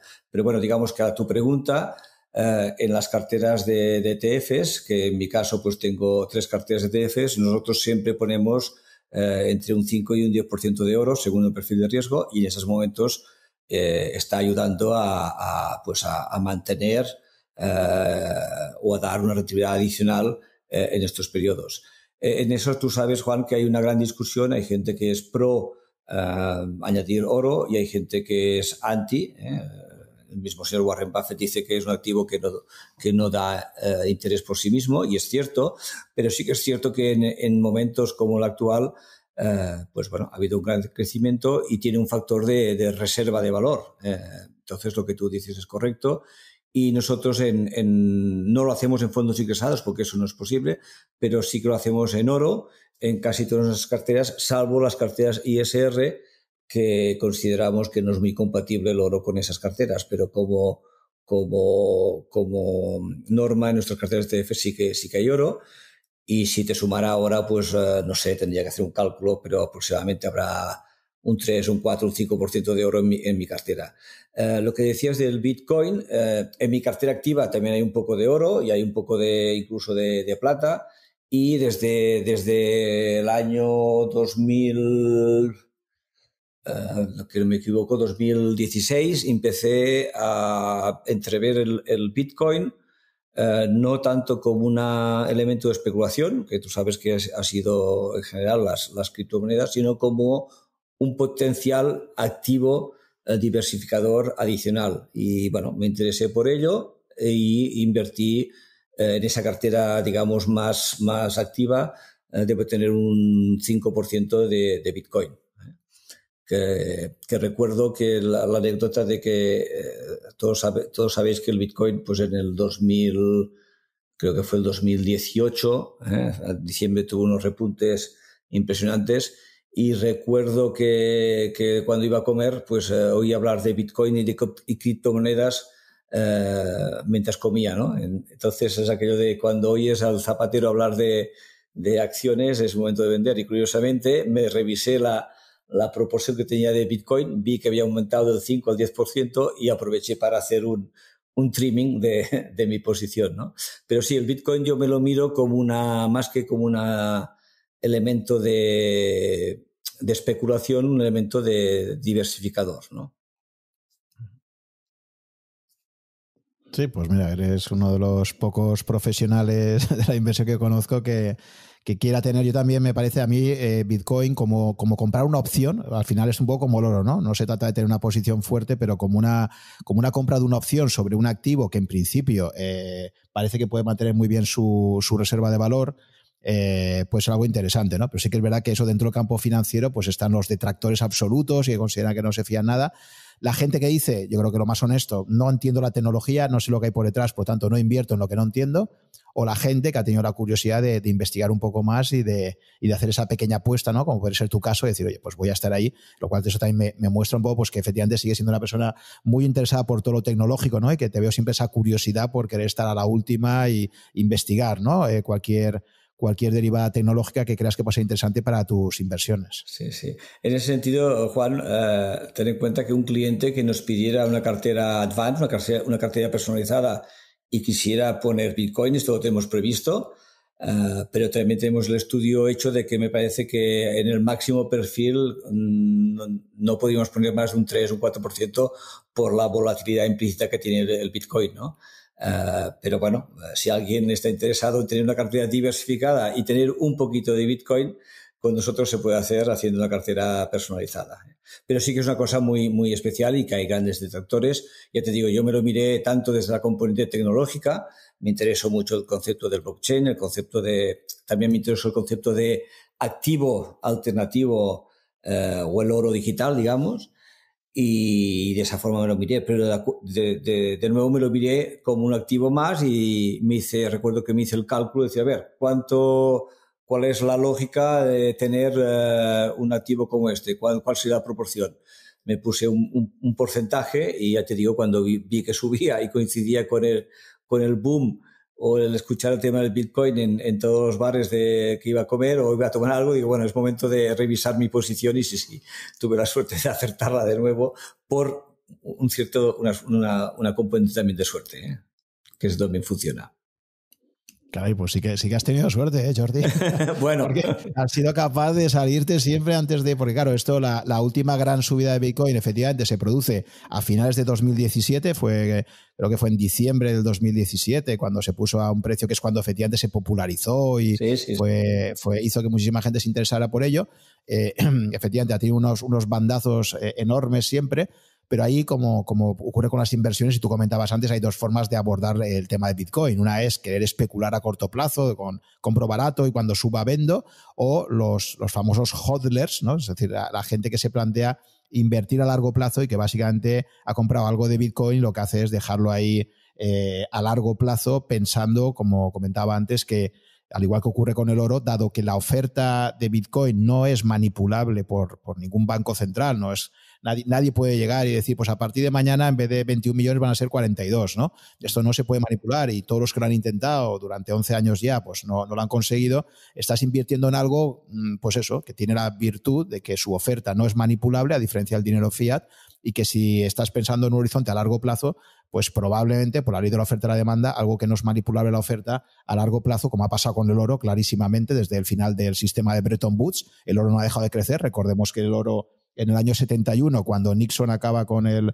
eh, sistema de Bretton Woods, eh, se pagaba 35 dólares la onza de oro y de esos 35 dólares nos hemos ido, pues ahora estamos por 1.800 dólares, 1.900, ¿no? Entonces, bueno, pues esto que te está diciendo, pues que el oro, comparado con el dinero fiat, no ha dejado de, subir de valor, lo cual es lógico en términos, ya digo, de oferta total, porque si el oro, eh, el crecimiento anual del oro a lo mejor puede ser un 3, 4, 5% anual, la producción mundial de oro y en cambio el dinero fiat, pues la expansión que ha tenido es espectacular. Lógicamente, pues en términos de oferta y demanda, que es lo más básico que se aprende en economía, eh, lo normal es que el oro, al igual que otras materias primas, pues, pues ganen en, valor respecto al dinero fiat. ¿no? Sí, sí. Eh, fíjate, por, por uh, dar un poco más de, luz sobre este tema, eh, nuestro modelo de inversión lo que busca en, las carteras de, de, tanto de ETFs como fondos indexados es eh, esa componente de optimizar rentabilidad de riesgo, ¿no? Es en, esa componente que, nos miramos cualquier clase de activo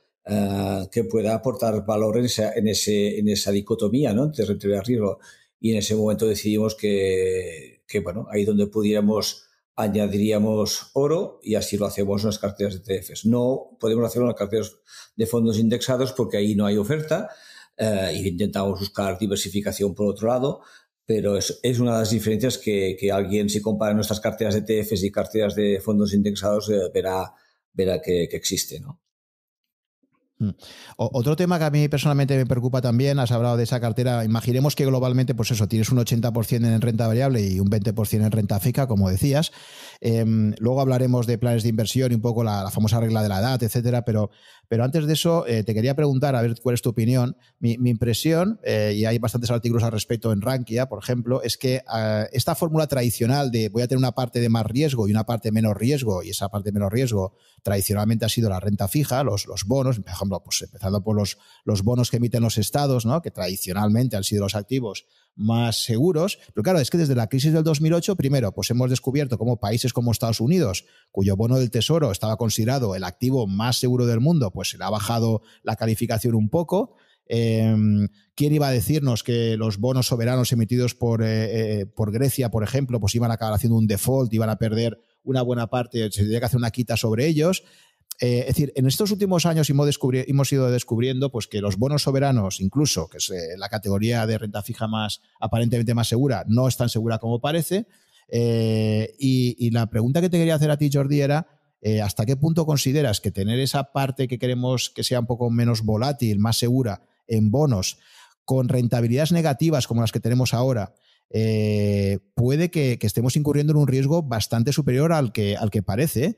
Y hasta qué punto hay gente, ya digo en Rankia, por ejemplo, pues que defiende que esa parte de renta fija, en vez de tener la renta fija, directamente la tengas en liquidez. Porque la verdad es que estar invertido en bonos, ya digo, con, con la posibilidad de que de repente haya un pequeño repunte de tipos de interés, eso puede provocar que tus carteras de bonos sufran pérdidas muy significativas. Entonces, a mí es una cosa que me genera bastante intranquilidad y no sé hasta qué punto hay, inversores vuestros que te lo han comentado así, que digan, oye, yo, la parte de renta variable, pues sé que ahí tengo un riesgo, pero a largo plazo, pues probablemente me va a ir bien, pero la parte de renta fija, eh, no sé si te ha planteado gente decir, oye, yo no sé si sería mejor tenerlo en renta fija o tenerlo directamente en liquidez, eh, porque esto de los bonos, la verdad es que es un es algo que, que, en este momento ya no es lo que era, ¿sabes? Es bastante más arriesgado de lo que era cuando había, pues eso, rentabilidades positivas. Es que ahora la rentabilidad negativa es algo increíble. O sea, tú le prestas dinero a alguien, en este caso a un Estado o a una gran empresa, y esa gran empresa o ese Estado, por el favor de prestarle dinero, te cobra. O sea, algo absolutamente eh, increíble, ¿no? Sí, sí. Eh, fíjate eh, que en, ese, en lo que hablábamos antes de, aprender, pues yo aún el tema de la renta fija aún me cuesta. Es decir, considero casi que es más complicado que la renta variable, un poco sumándome a tu preocupación, ¿no? Y más ahora con la, con la situación que estamos viviendo. Eh, en realidad, pues eh, nosotros precisamente lo que hemos intentado en la renta fija es buscar de introducir high yield, de introducir bonos eh, cubiertos por la inflación, pero aún así, tal como dices tú, es muy difícil ahí encontrar, encontrar valor. Y en ese sentido, pues bueno, nuestros, ya ves, mi sesgo en mi cartera va un poco hacia la renta variable, un poco también por, por ese motivo. Prefiero tener un fondo de emergencia un poquito más amplio y después eh, tener una tendencia a, irme más hacia la renta variable. Eh, y nuestro cliente está haciendo un poco lo mismo. El perfil medio de nuestro cliente es un perfil 6 o 7, es un perfil que, de riesgo que solamente no es el típico perfil de cliente de cliente tradicional, ¿no?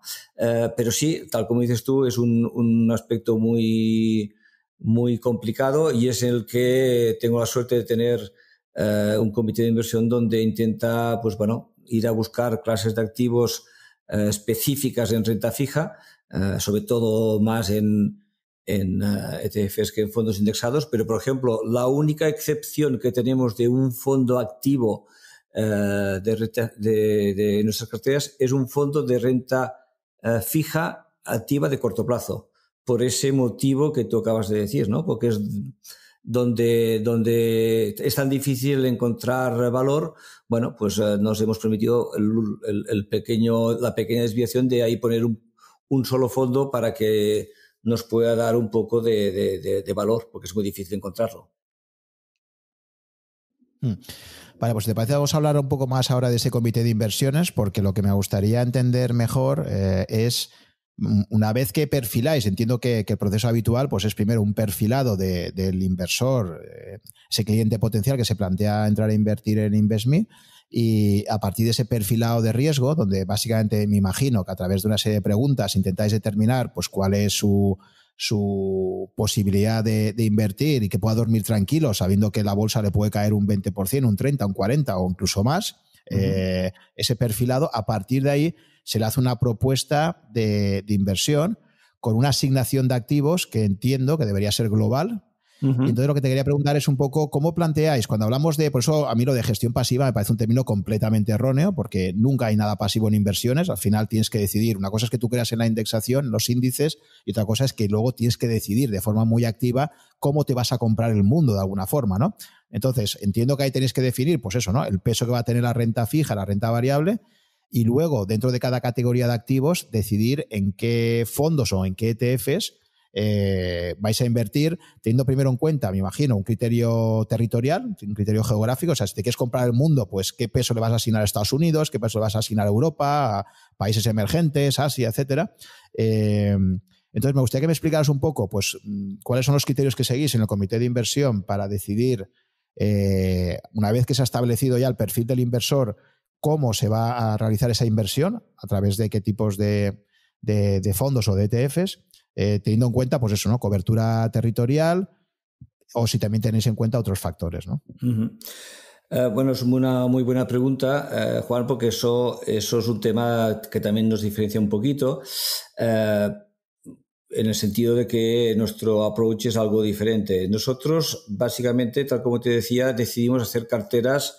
Nosotros miramos InvestMe como una empresa eh, para dar servicio a cualquier persona en el mundo, o casi cualquier persona en el mundo.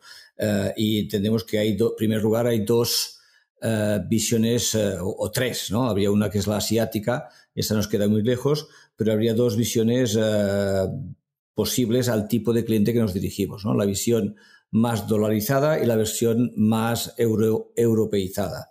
Es por eso que decidimos hacer eh, ETFs dos tipos de eh, distribuciones, una más vista desde Estados Unidos y otra más eh, desde el punto de vista europeo.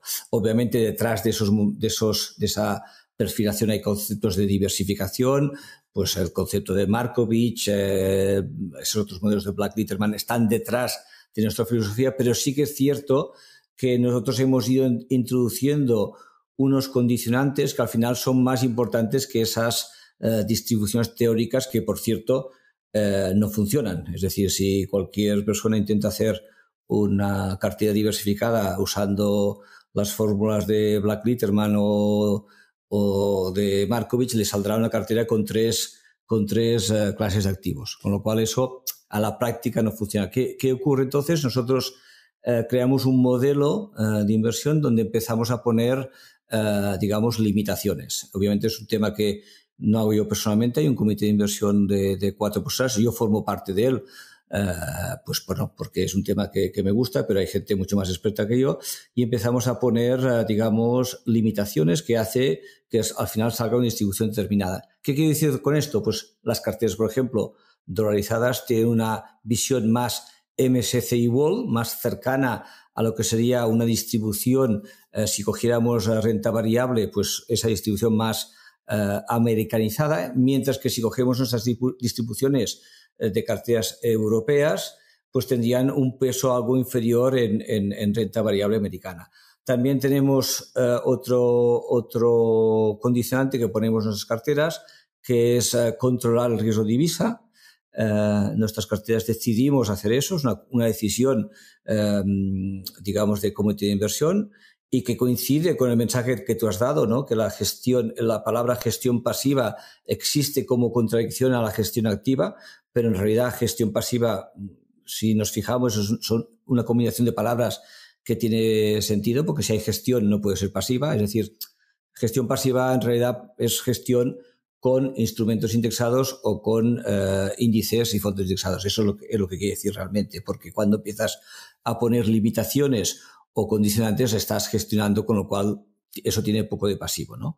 Eh, entonces, siguiendo con el modelo, pues eh, a partir de ahí, tal como te decía antes, nosotros decidimos hacer 11 perfiles de riesgo, establecemos unos objetivos de, teóricos de rentabilidad y riesgo, asignamos a cada perfil una rentabilidad y riesgo objetivo y a partir de ahí asignamos eh, clases de activos para eh, conseguir esos objetivos. ¿eh? Entonces, pues bueno, básicamente un perfil 5 pues aproximadamente tendrá una rentabilidad esperada del 4,5% y una volatilidad prevista del 10 o 11%. Intentamos ir a buscar un teórico share ratio del 0,50 y en eso se basa nuestro modelo las carteras europeas con un sesgo más europeo y las carteras eh, con dólares con un sesgo más em, americanizado.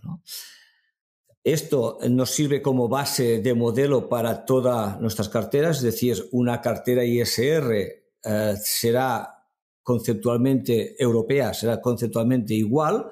La única cosa que vamos cambiando ahí donde es posible cambiamos eh, fondos indexados o ETFs, digamos, tradicionales o de índices em, completos, los cambiamos por el índice correspondiente ISR y constituimos a partir de ahí las carteras ISR y las carteras Value sean un poco lo mismo.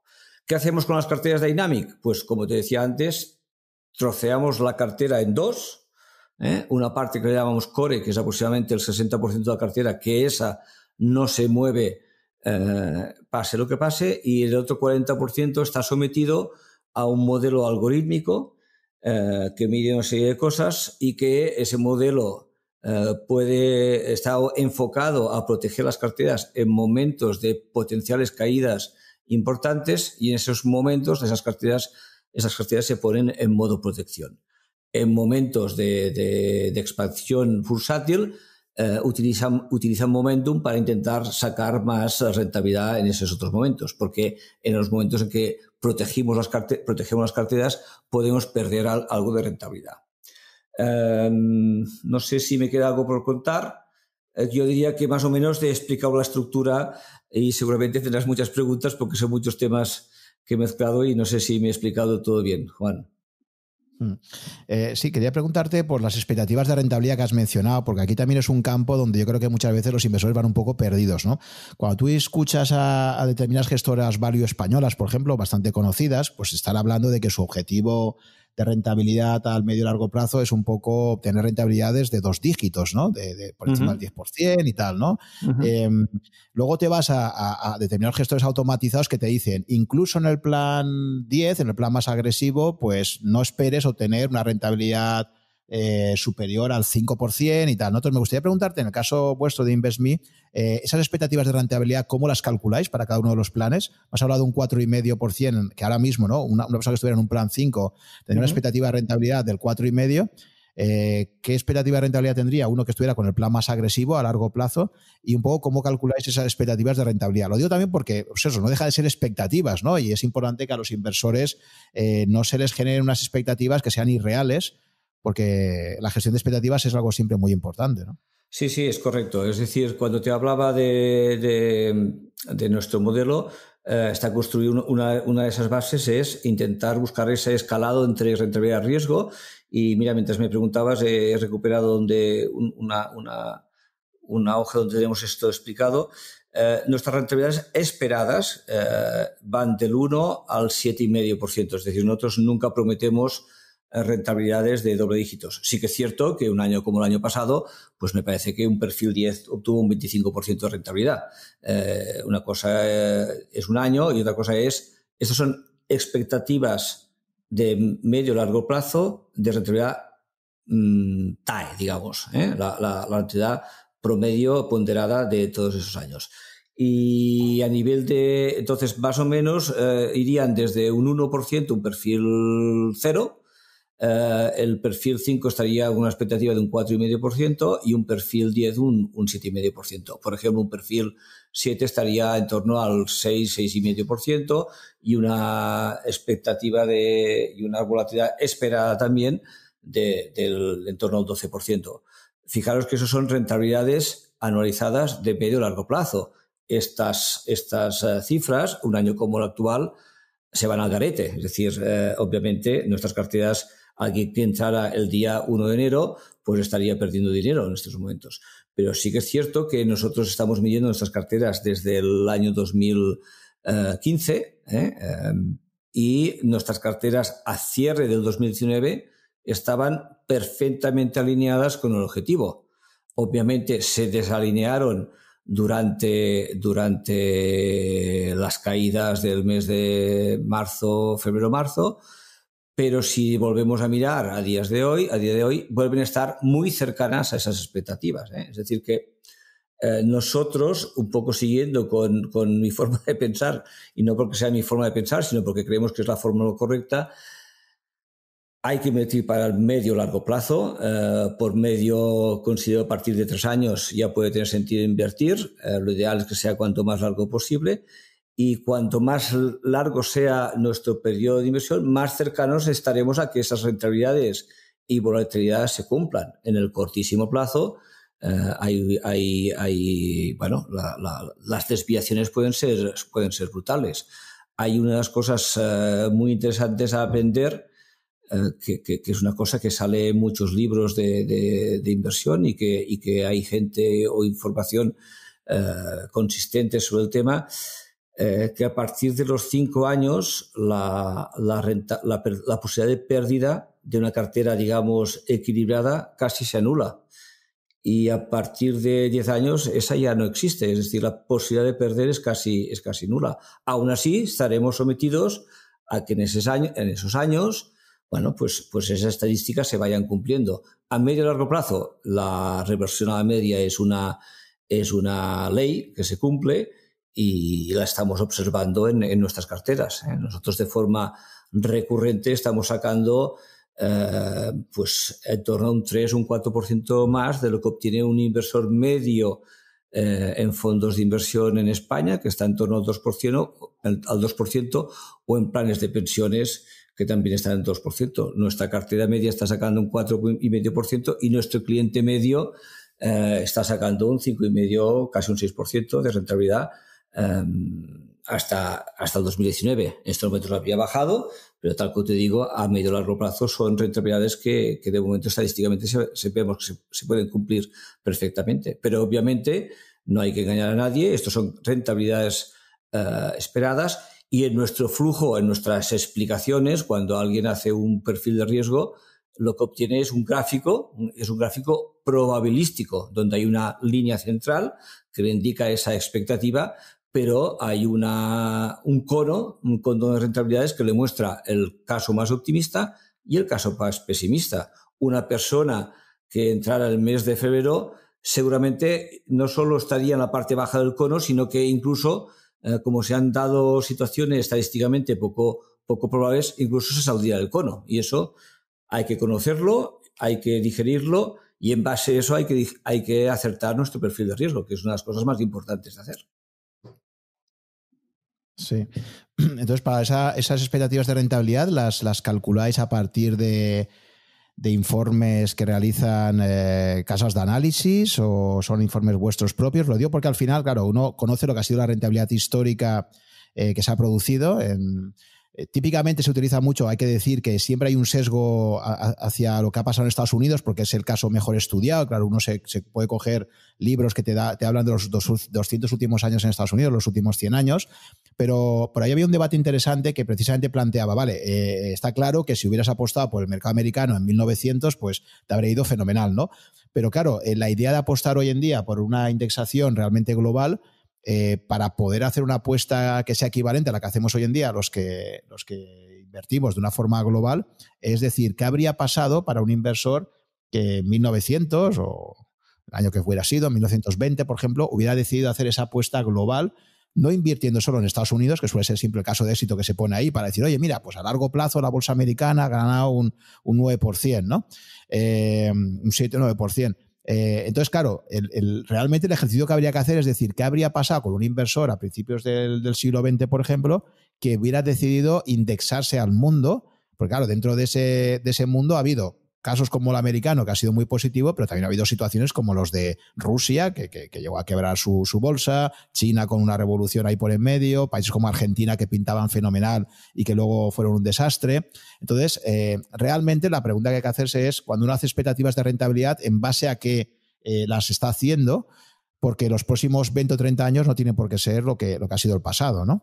Entonces no sé un poco cómo, veis vosotros sí, nosotros mezclamos las dos cosas y las cruzamos. Eh, lo que sí que no hacemos, que nos parece una tontería, es ajustar cada año las expectativas de rentabilidad. ¿Por qué? Porque si estamos hablando de rentabilidades a medio y largo plazo, pues qué sentido tiene cambiarlas cada año. Entonces, nosotros eh, cuando hicimos nuestro modelo, mmm, fíjate que te, yo te he contado que había un modelo unas carteras más europeas, las carteras denominadas en euros, las carteras eh, en dólares. Con lo cual, esa dicotomía, eh, ese, ese, riesgo a equivocarse por coger unas carteras, eh, digamos, con más peso americano, que es, lo que, que, es lo que ha pasado y lo que ha dado resultado en estos últimos años, bueno, pues eso ya no se produce porque está separado, ¿no?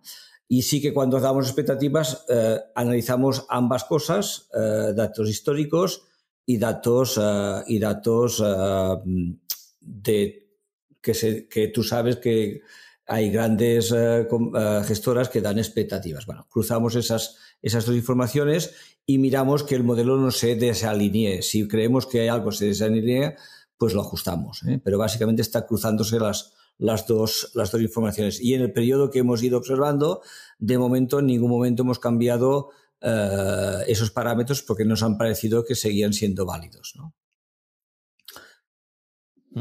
No sé si he contestado bien tu pregunta, Juan. Sí, sí, sí, sí, sí, O sea que no, no, no estáis, en otros casos utilizan más, pues eso, ¿no? La, información de casas de análisis que cada año, pues en función de cómo va el mercado, modifican un poco sus expectativas. Lógicamente, si vienes de un periodo de mucho crecimiento, pues las expectativas de rentabilidad serían menores. Si vienes de un periodo de crisis, pues serían mayores, en fin. Pero bueno, sí, no os lo digo porque, claro, para mí en todo siempre la gestión de expectativas es fundamental, ¿sabes? Esto es lo que, creo que a veces hacemos al revés, ¿no? Lo hacemos mal, lo típico que, oye, ¿esto para cuándo lo tendrás? No, esto te lo tienes en dos días y luego son cinco, fatal, ¿no? Y al revés, al revés, yo creo que lo que hay que hacer siempre es decir, oye, pues no, esto lo, tendrás en una semana y si puedes lo entregas antes, ¿no? Yo esto lo aprendí de Amazon, por ejemplo, que te ponía plazo de entrega, ¿no? A cinco días y luego te llegaban dos días. Y digo, oye, qué bien, ¿no? Que has gestionado tus expectativas y las has superado, ¿no? Supongo que tú en tu mundo empresarial eso también lo habrás vivido, ¿no? Siempre supera expectativas, ahí hay un efecto anclaje.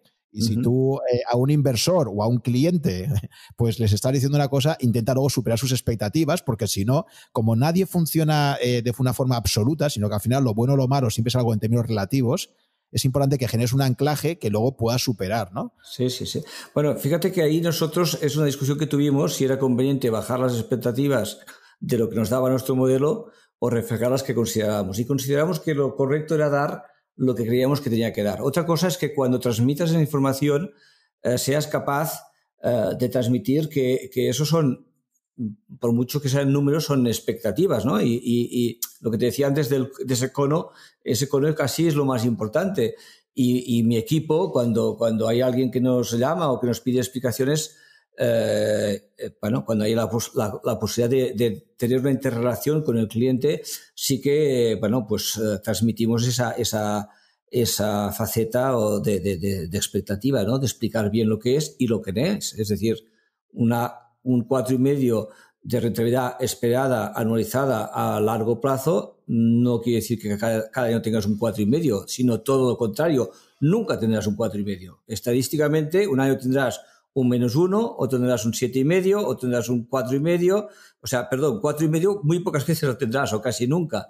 Y esa parte, eh, bueno, pues eh, cuesta mucho explicarlo, pero es una, obligación que nos hemos eh, impuesto tanto en nuestra comunicación verbal como, como en la comunicación, digamos, que posteamos cuando hacemos un webinario, cuando se nos, se nos hacen consultas. Es decir, mm, explicar esa parte es, o sea, medir bien las, las expectativas es muy importante, tal, como tú decías. Mm.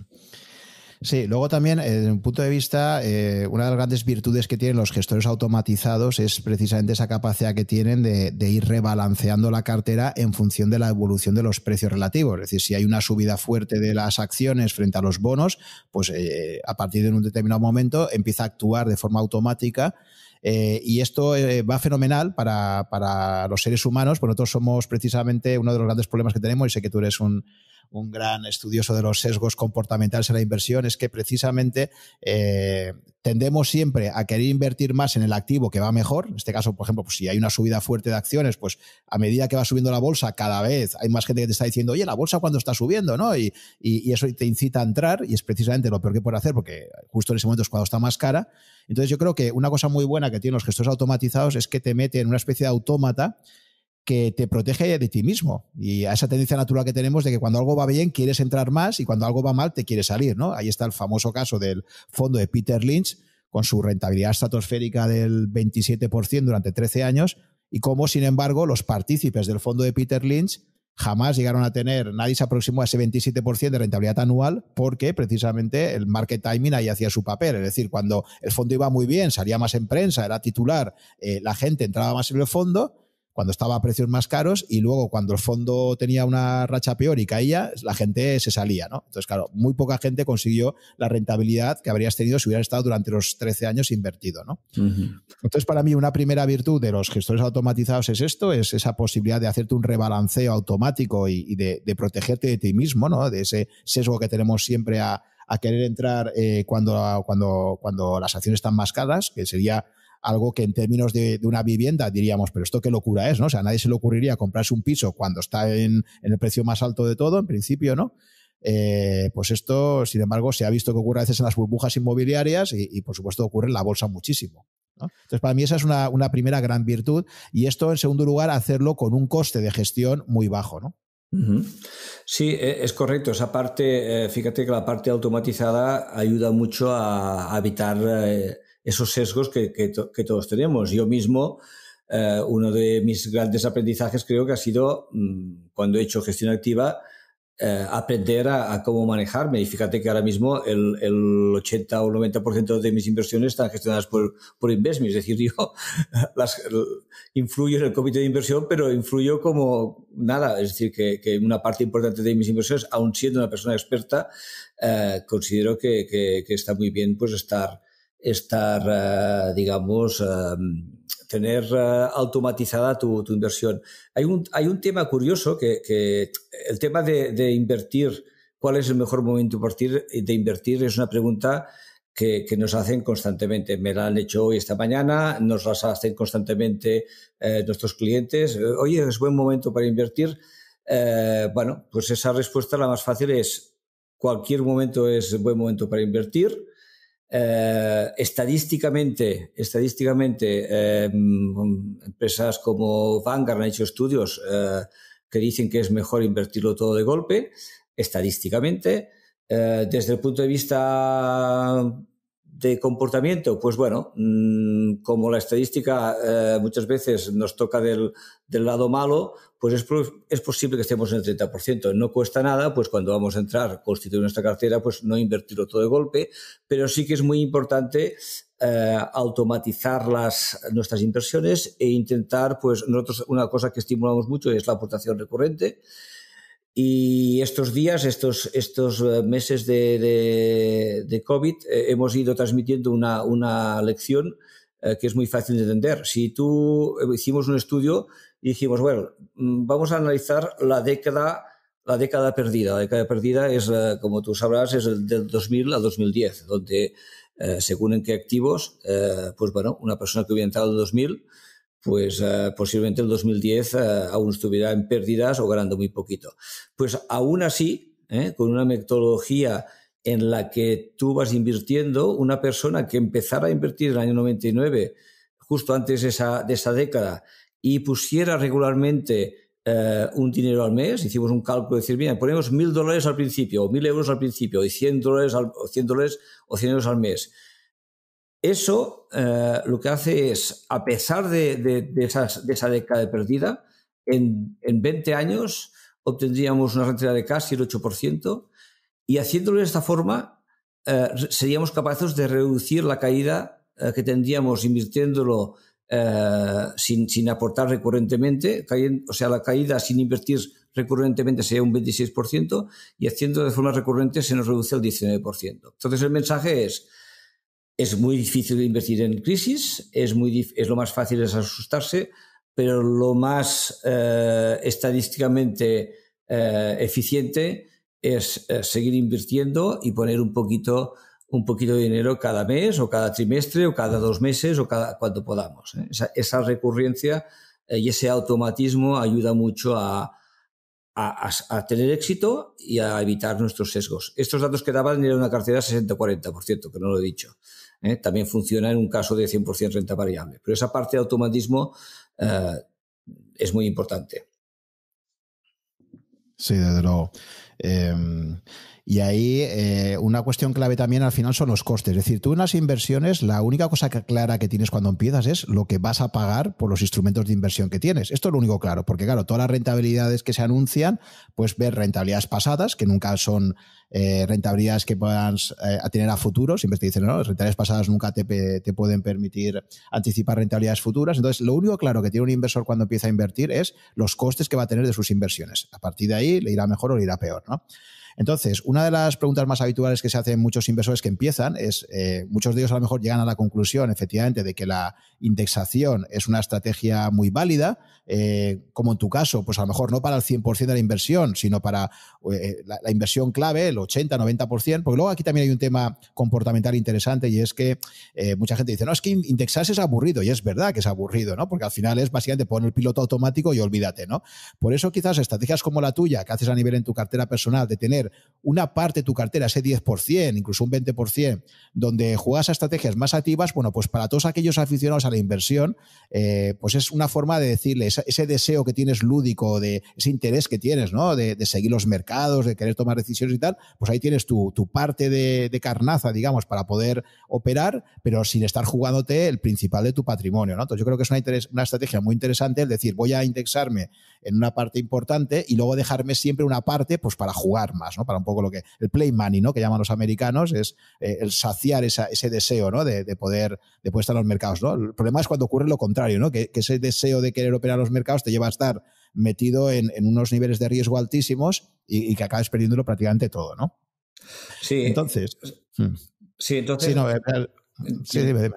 No, eh, has tocado dos temas, uno el de los costes y el otro el tema de, qué proporción tiene sentido de, gestión activa. Entonces, sobre los costes, eh, bueno, el señor Jack Bogle hace 40 años que, demostró que el coste es uno de los elementos más importantes en la inversión y es otra de los componentes que, los gestos automatizados y InvestMe también se suma a ellos, bueno, intentar dar los costes eh, más, más, más bajos. Nosotros, eh, nuestras carteras están en torno a 0,73, 0,74 según el, modelo de inversión que, que, escoja, la cartera que escoja, eh, y eso es una componente importante y, siempre estamos luchando por, por eh, esos costes ajustarlos lo, máximo posible. Claro, fíjate que este 0,70, si lo, si lo comparas con, eh, con, costaría una gestión con fondos de inversión tradicionales, que se puede ir al 2,5-3%, claro, ya ese diferencial pues condiciona la, la el resultado final, ¿no? Por eso es real. Nosotros no podemos garantizar una rentabilidad, pero lo que sí que casi podemos garantizar es, que ese eh, diferencial de dos puntos casi es automático solo por los costes. Ahí también me gustaría sumar algo que, a ver, mm, los costos son importantes, pero fijémonos que antes hablábamos de nuestros modos de inversión ¿no? Eh, y nuestras carteras ISR. Y nuestras carteras ISR, por ejemplo, son algo más costosas. ¿Quiero, eso decir que la inversión socialmente responsable tendrá un rendimiento inferior? Pues no. ¿Mm? Nuestras carteras ISR eh, o, la estadística demuestra que los, fondos eh, en el periodo que lo hemos analizado nosotros, que es desde, el 2015 hasta la fecha, pues se puede obtener mejor rentabilidad o una muy buena rentabilidad teniendo un coste eh, algo más alto y estando más eh, alineados con nuestros valores, ¿no? Y eso es por eso que, hemos decidido pues lanzar nuestras carteras ISR. Sobre el segundo punto, pues fíjate que este es un razonamiento que yo me hice. No me importa compartir que en este periodo que yo te hablaba del 2010 hasta la fecha, yo como buena persona de números, eh, unas cosas que, que, que, es muy importante es medir nuestras rentabilidades, medir lo que hacemos, ¿no? Y si decidimos mm, hacer una inversión, es importantísimo saber lo que estamos haciendo. Bueno, pues siempre he tenido la curiosidad por saber que, si batía o no batía el mercado. Eh, y, porque un poco, fíjate tú que yo lo que he ido diciendo es trasladando, trasladando mi inversión de una gestión eh, activa a una gestión indexada. Bueno, pues eh, durante estos 10 años yo le he sacado un 20% a esa parte activa. ¿eh? ¿eh? quiere decir que he doblado el Standard Poor's, ¿vale? Y eso, pues, ya me ha sacado ese gusanillo. Pero fíjate que aunque diga esto, si hago un análisis profundo de lo que yo he hecho y no me engaño eh, y me comparo eh, con lo que realmente me tengo que comparar, yo antes te he comentado de que, bueno, yo me decidí desde el 2010 hasta la fecha tener un sesgo mm, de empresas de crecimiento y empresas tecnológicas. Pues, ¿qué sentido tiene comparar mi, gestión con el Standard Poor's? Pues poca. O, sí que la tiene, pero lo que debería compararme es con un índice que sea más aproximadamente al que lo hago. Pues fíjate tú que si yo comparo mi rentabilidad de esa cartera activa, a duras penas he ganado al Nasdaq. Es decir, que ojo, eh, ese gusanillo yo me lo he estado sacando, pero nunca me he estado engañando de que aún así, si yo comparo mi, eh, mi cartera activa y la comparo con el índice adecuado a lo que yo hago, realmente tampoco estoy batiendo el mercado. ¿eh? Entonces, es una lección que yo empecé a aprender a medida que me iba interesando por la gestión indexada y que me sigo eh, obligando a hacer porque, bueno, eh, la sigo manteniendo porque me gusta.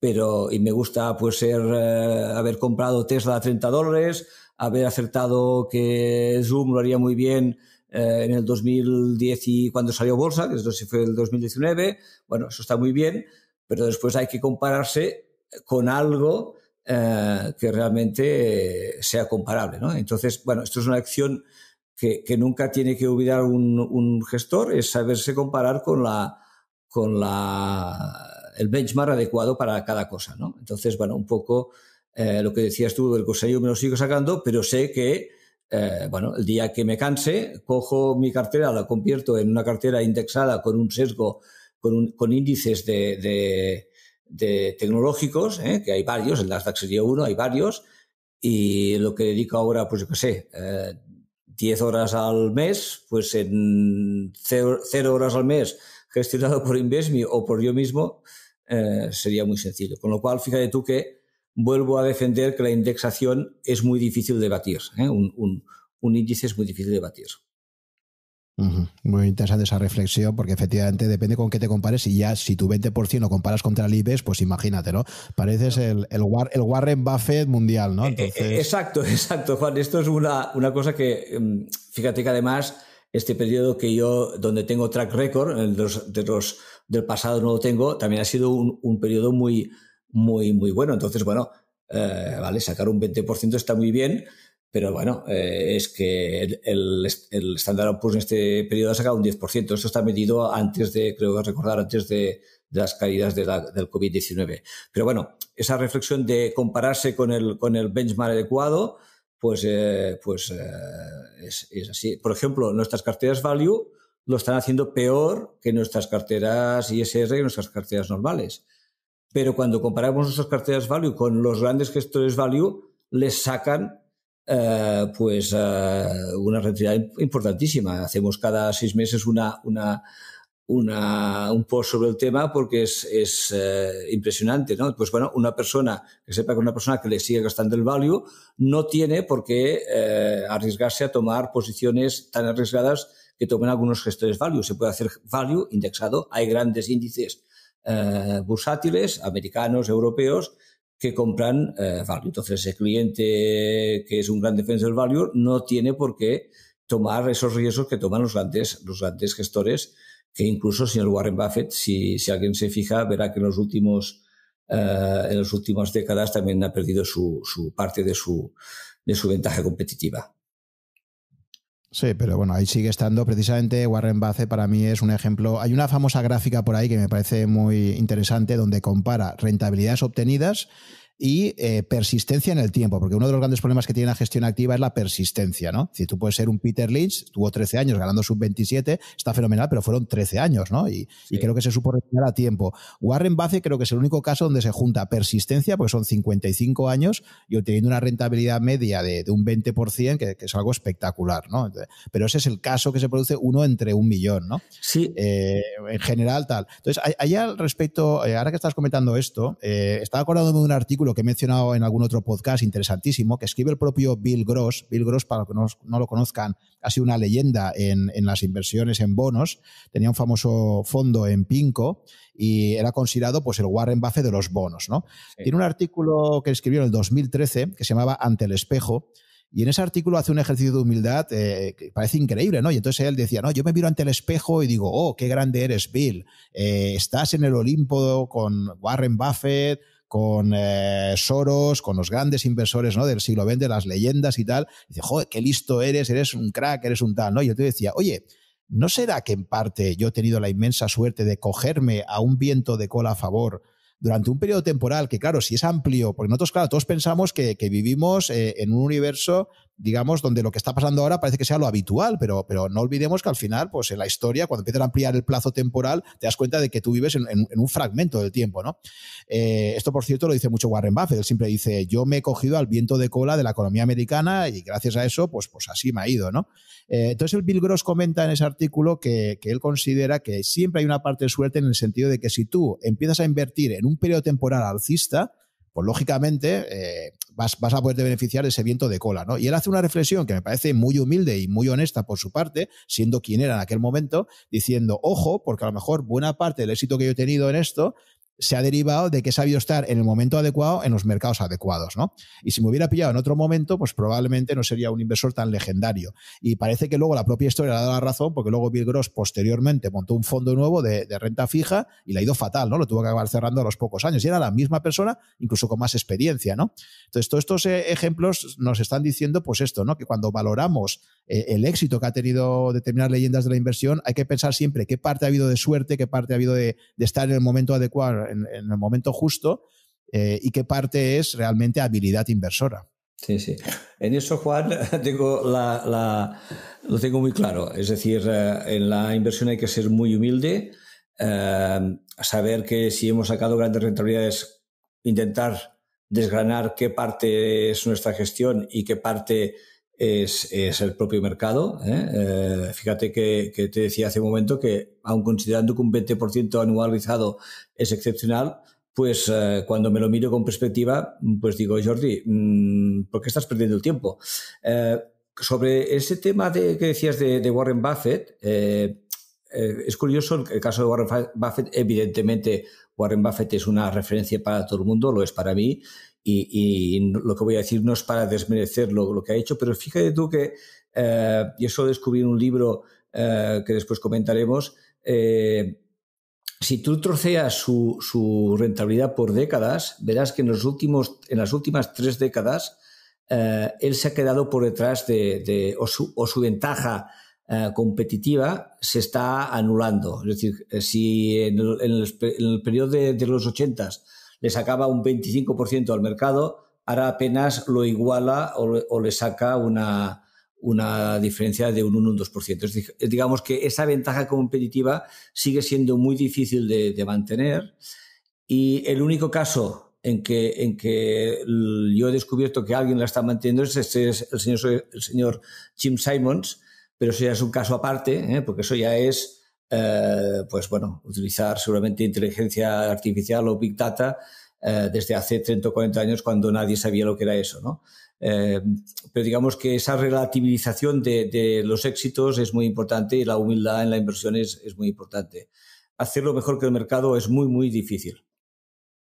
sí, y el, propio, y el propio, de hecho, el propio Warren Buffett en los últimos años, en la propia Junta General de Persa y Hathaway, ha recomendado y ha dicho, y lo ha dejado escrito, ha dicho, mira, yo a mis herederos les he dejado claro que el 90% de mi patrimonio lo que vayan, que vayan liquidando eh, esa inversión la mantengan en, un fondo indexado al Standard Poor's 500 y el 10% restante en bonos del Tesoro americano. Y esta ha sido la receta que, que le ha dado. O sea, y de hecho llevó, llevó a Jack Bogle a, en una de las últimas reuniones de Berkshire Hathaway, le hizo levantarse y que todo el mundo lo aplaudiera diciendo a este hombre habría que hacer un monumento porque ha sido la persona que más ha defendido los intereses de los inversores particulares eh, en todo el mundo en los últimos 40 años. ¿no? o sea, que el propio Warren Buffett, que es efectivamente la referencia en el mundo value, en el mundo de la gestión activa, eh, acaba reconociendo pues que, pues que eso, ¿no? que en muchos casos la, estrategia de indexate y olvídate pues eh, sería probablemente la mejor para la mayor parte de inversores.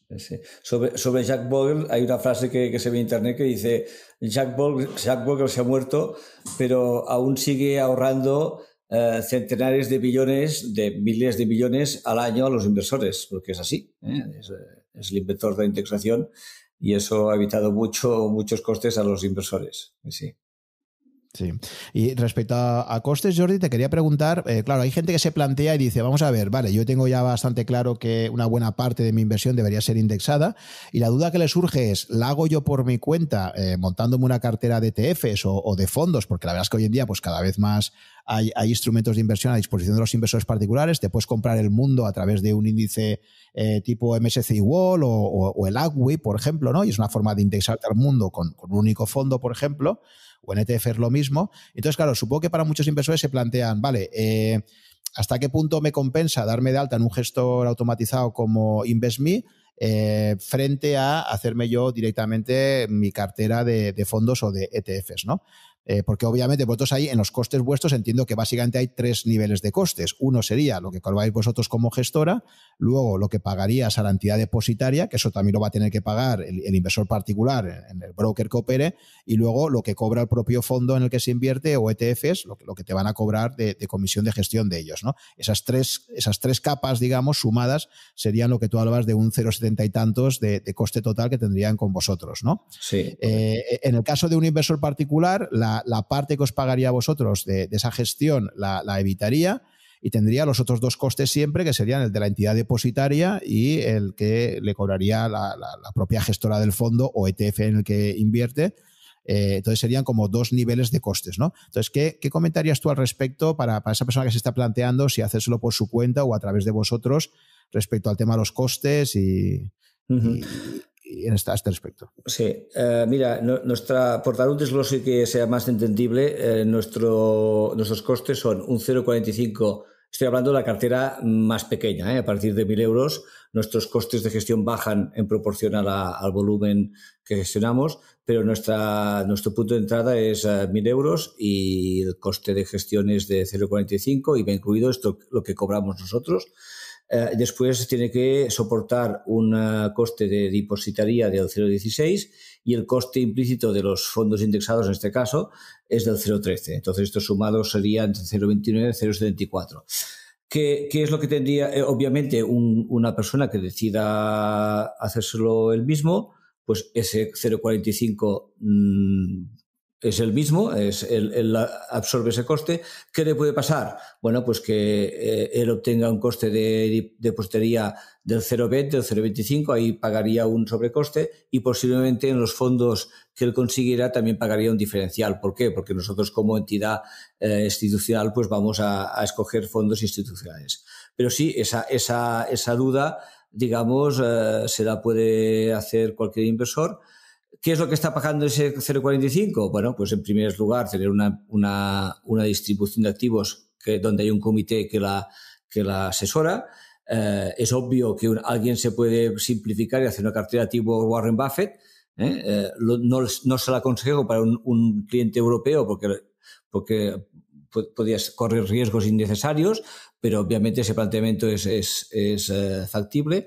entonces, bueno, está, está pagando esa esa plataforma, ese automatismo, ese comité, la selección de los activos, el acceder a, clases institucionales en algunos casos, no en el caso de los ETF, en los casos de ETFs ellos pueden acceder a los mismos ETFs que accederíamos nosotros. Eh, y básicamente es el evitarse el saber si él está capacitado para hacer todo esto. Pensemos que dentro de ese proceso mm, eh, hay que hacer una distribución óptima para un perfil de riesgo que desconocemos. Puede ser que una persona desconozca cuál es su perfil de riesgo, pero es que además hay que escoger los mejores fondos para cada clase de activo. Entonces, eso, cuando lo vas sumando, eh, te das cuenta eh, que, que, bueno, que no es tan fácil. Recuerdo haber hecho un post diciendo eh, la gestión pasiva es muy simple. ¿eh? Entonces, empiezas a listar eh, lo que implica, y está por ahí en nuestro, en nuestro post, alguien se lo puede leer, y verá que, sí que es simple para una persona, pues como yo, que le haya dedicado muchas horas, pero posiblemente para la mayoría de los mortales se le hará un mundo, en primer lugar, escoger qué entidad con qué entidad lo tiene que hacer, porque es, muy probable que no encuentre ninguno de los fondos que nosotros usamos en esas entidades o, que para acceder a determinados ETFs pues no den acceso. ¿eh? Es decir, que sí, eh, yo, yo, siempre recuerdo que cuando empecé el proyecto de InvestMe, em, dije, oye, me encantaría dar servicio a un millón de personas y que de ese millón 250.000 eh, con el tiempo se lo pudieran hacer ellos y 750.000 nos necesitaran, porque sería feliz doblemente, ¿no? Habría cumplido la doble misión que, me, propuse, ¿no? Pues ayudar a la gente a invertir y formar a gente para que invirtiera ellos mismos. Es decir, que estaría encantado que ese fuera el resultado final de nuestro proyecto en unos años. Sí, o sea que al final, pues ese, esa comisión de gestión vuestra que cobráis, estáis básicamente cobrándola por eso, para que la gente se desentienda, porque al final también nuestro tiempo es valioso. Hay que pensar que muchísima gente pues tiene su trabajo, sus ocupaciones y que, y que a lo mejor no son tan apasionados de las finanzas como, como podríamos serlo nosotros. Y entonces, oye, pues el, tiempo también vale dinero y todo el coste de oportunidad que tienes de tener que estar investigando cómo lo voy a hacer, a través de qué instrumentos, en qué entidad. Eh, esto ha cambiado ahora, porque además ahora también en España tenemos la mala costumbre de de que hay entidades que durante un tiempo te dan condiciones muy buenas, de repente te suben las comisiones, aquello que parecía que era gran chollo, de repente ya deja de serlo, fondos que no te cobraban comisión empiezan a cobrarla, entonces todo eso al final te supone pues toda una gestión, todo un seguimiento que al final te consume horas. Que claro, el que lo haga por placer, por afición y tal, pues dice, oye, pues esto para mí no es tiempo perdido, es tiempo ganado porque casi es mi, mi pasatiempo favorito, ¿no? pero para la inmensa mayoría de personas que están pensando en una inversión como una forma de generar un ahorro a largo plazo, lógicamente para ellos es una cosa que les está quitando tiempo de estar viendo lo que a ellos realmente les apetece, ¿no? Entonces ahí estás comprando un poco tu tiempo, ¿no? Tu, tu... Sí, el tiempo, la regulación, la seguridad, eh, hay una serie de garantías, pero bueno, eh, con eso, eh, fíjate, que, yo mismo he sido capaz de formarme y, pero bueno, después hay que tener el tiempo y las ganas. Yo ahora mismo, como hobby, eh, pues eh, si hay un joven que se dirige a mí y que quiere aprender, pues eh, uno, uno, al mes le, le, formo, lo hago desinteresadamente, pero veo que, que, eso no es tan fácil. Entonces, e, ese tiempo, esa dedicación, pues bueno, al final, pues a mí me ha costado muchos años llegar hasta aquí.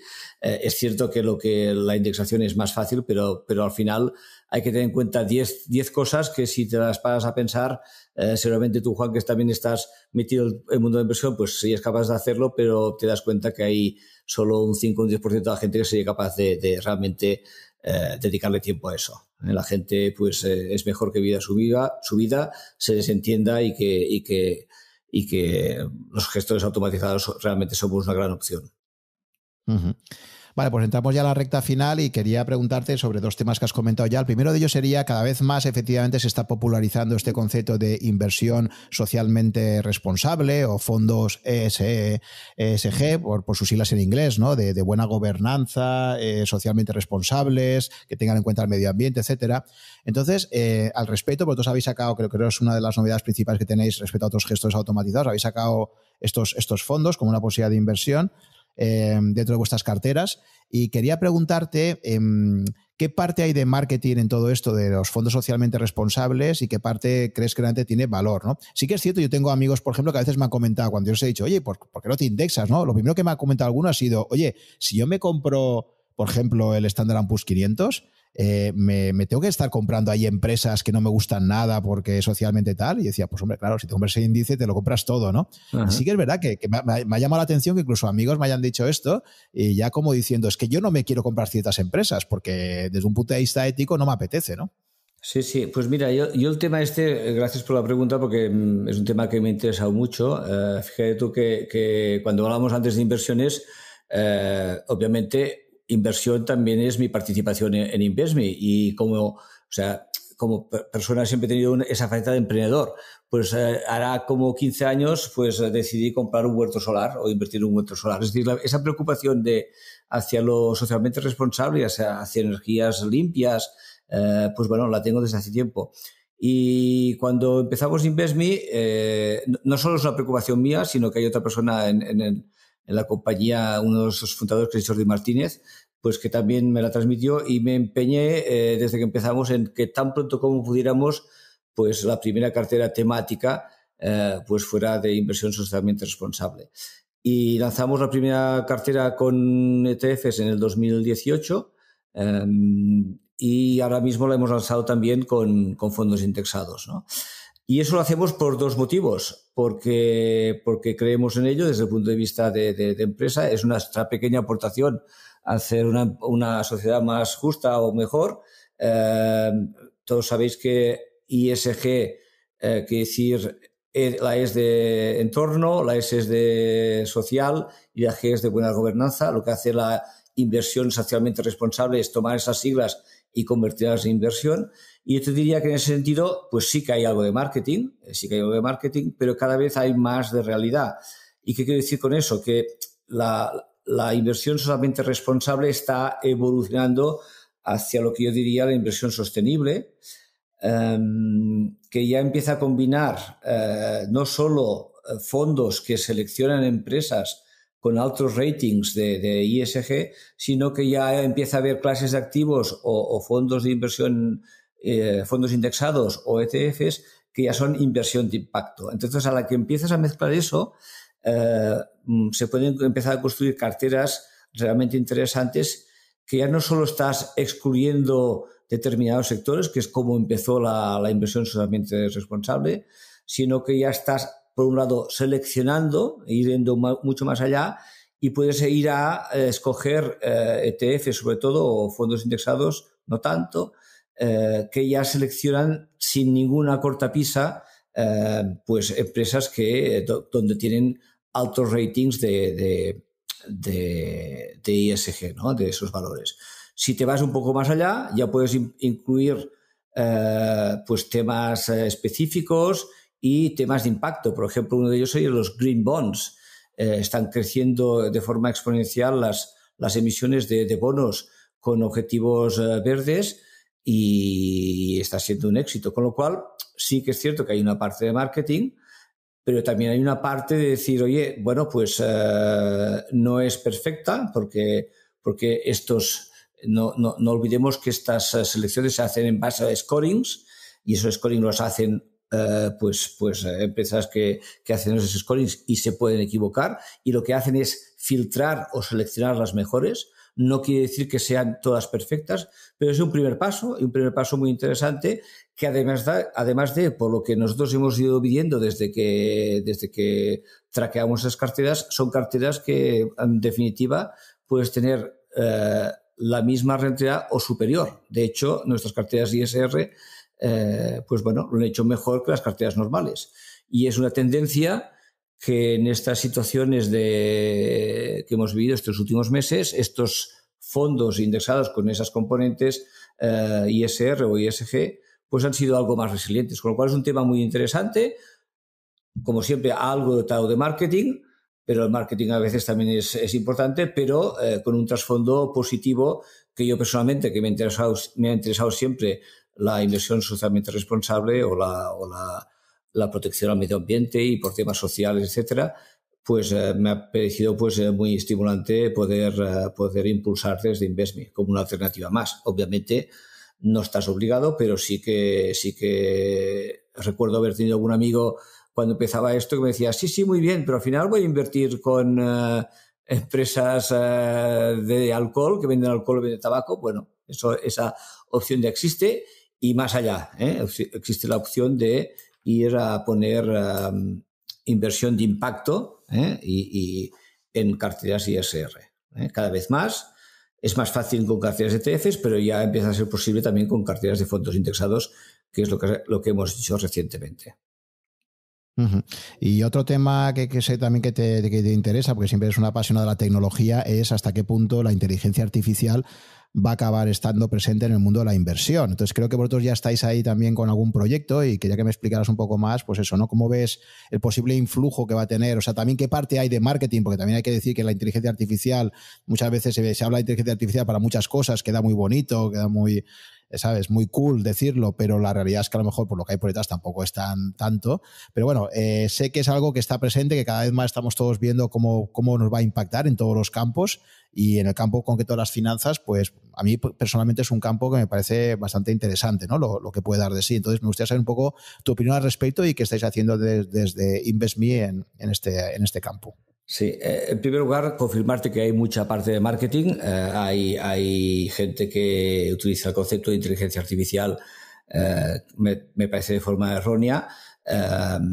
incluso he oído a algún competidor que habla de ello y me parece un poco, pues, pues demasiado marketing, por decirlo de alguna forma. Nosotros lo que estamos haciendo en este, en renglón, yo sí creo que la inteligencia artificial tiene cosas que aportar. De hecho, creo que eh, antes he nombrado el, fondo de, Jim Simons, eh, Medallion, no sé si has oído, has oído hablar de, ello y nuestros oyentes habrán oído hablar, pero yo diría que estoy casi seguro que la base de este fondo está basado en, Big Data y, seguramente inteligencia artificial.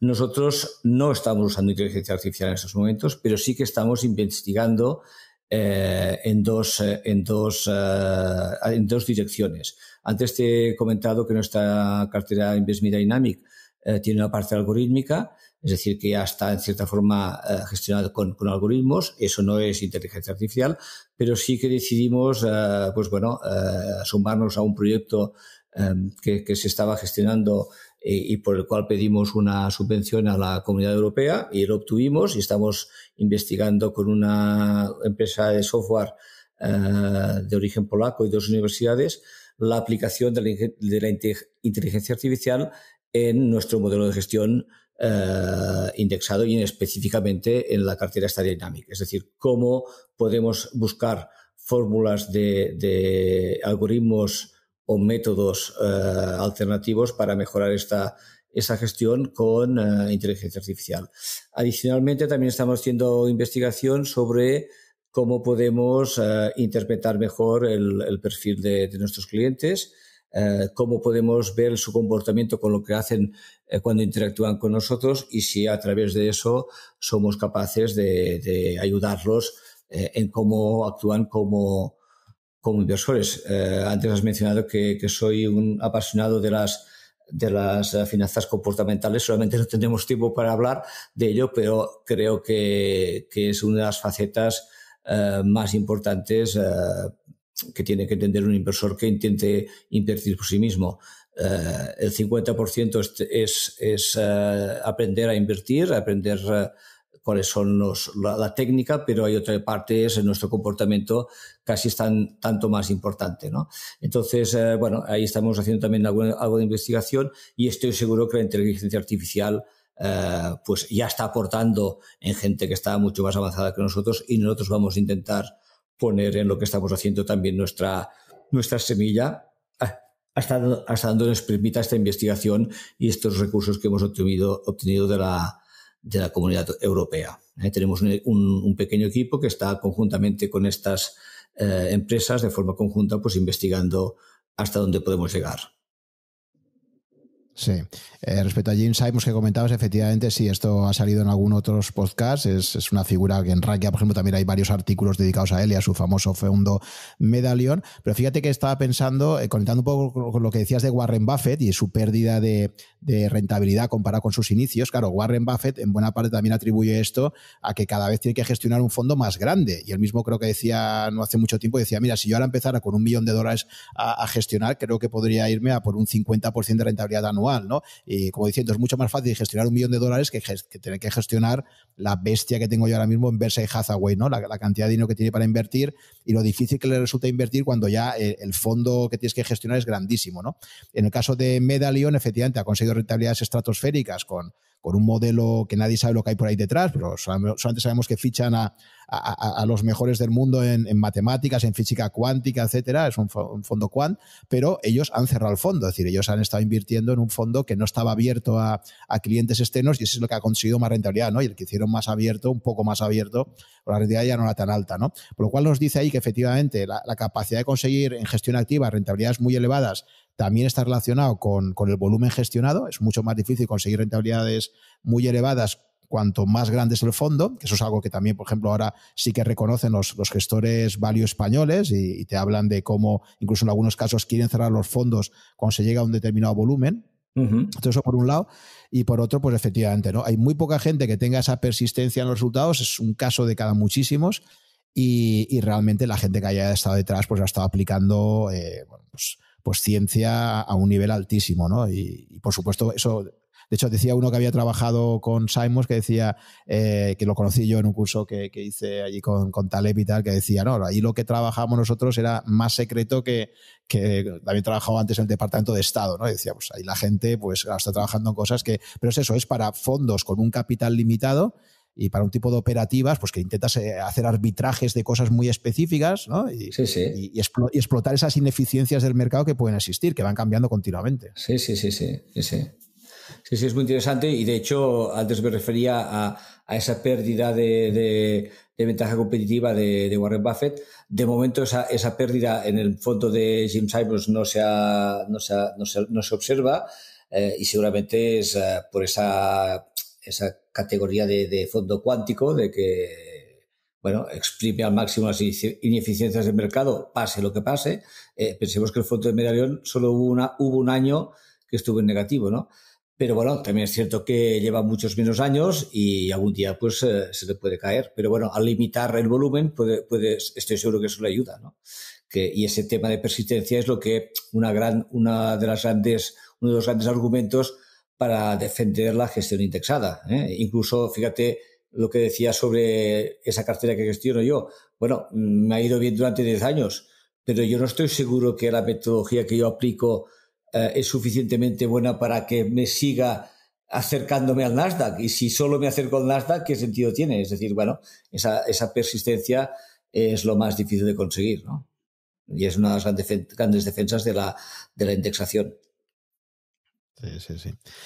Bien, Jordi, pues ya para finalizar, como hago siempre, me gustaría que nos dieras, a partir de toda tu experiencia acumulada en, el campo financiero eh, de las inversiones, eh, que nos recomendases tres libros para aprender a invertir mejor, que en tu caso personal, pues eh, te hayan servido mucho, te hayan dado esa luz que, dices que, bueno, que has, ido viendo poco a poco, ¿no? A lo largo de tu, tu dilatada trayectoria. También podría ser, ojo, algún libro que no sea estrictamente de inversión, pero que a ti te haya servido, pues no sé, que te haya dado una perspectiva muy, muy eh, sugerente, ¿no? Muy, muy buena para la, propia vida, ¿no? Entonces, bueno, pues ¿qué, tres libros nos, nos, recomendarías? Sí, mira, eh, yo, o sea, si, eh, si, tuviera que pensar en cómo, en cómo iniciarme, eh, hay un libro que creo que, que, es muy útil para esto, que es el, libro de, de Malkiel, Burton G. Malkiel, que se llama en castellano Un paseo aleatorio por Wall Street, la estrategia para vivir con éxito en inglés es A Random, A Random Walk Down Wall Street. Es un libro que tiene muchos años, pero me parece una buena, una muy buena, muy, muy buen recorrido para entender las diferentes formas de invertir. Curiosamente, el señor Malky le acaba sugiriendo la, la gestión indexada. Eh, es, es, eh, es, un gran defensor de la, de la, gestión indexada. De hecho, el señor Malky está en uno de los robo-advisors más importantes de, de, de Estados Unidos como, como asesor o como persona de referente, pero más que eso, eh, más que esa faceta, creo que tiene una, una, muy buena misión de darte esa perspectiva de lo más complejo, incluso hay, hay eh, bueno, pues, pues eh, mucha información interesante para formarse como, como inversor. El segundo libro que recomendaría, eh, precisamente un poco en la línea que hablábamos antes del tema de comportamiento, eh, sería el libro de Kahneman. Kahneman tiene un libro que se llama Pensar rápido, pensar despacio. De hecho, no es un libro de inversión. Eh, en inglés se llama Thinking Fast and Slow. es un libro un poco espeso, o sea que a, a, alguien que lo lea, pues, pues que lo intente leer, les, les le puede eh, parecer espe eh, espeso, eh, pero es un libro muy interesante, interesante para entender nuestros sesgos cognitivos. Él, él eh, explica que tenemos dos formas de pensar, una rápida y una lenta. La forma rápida es la que nos hace cometer muchos errores en temas que de deberíamos dedicar tiempo.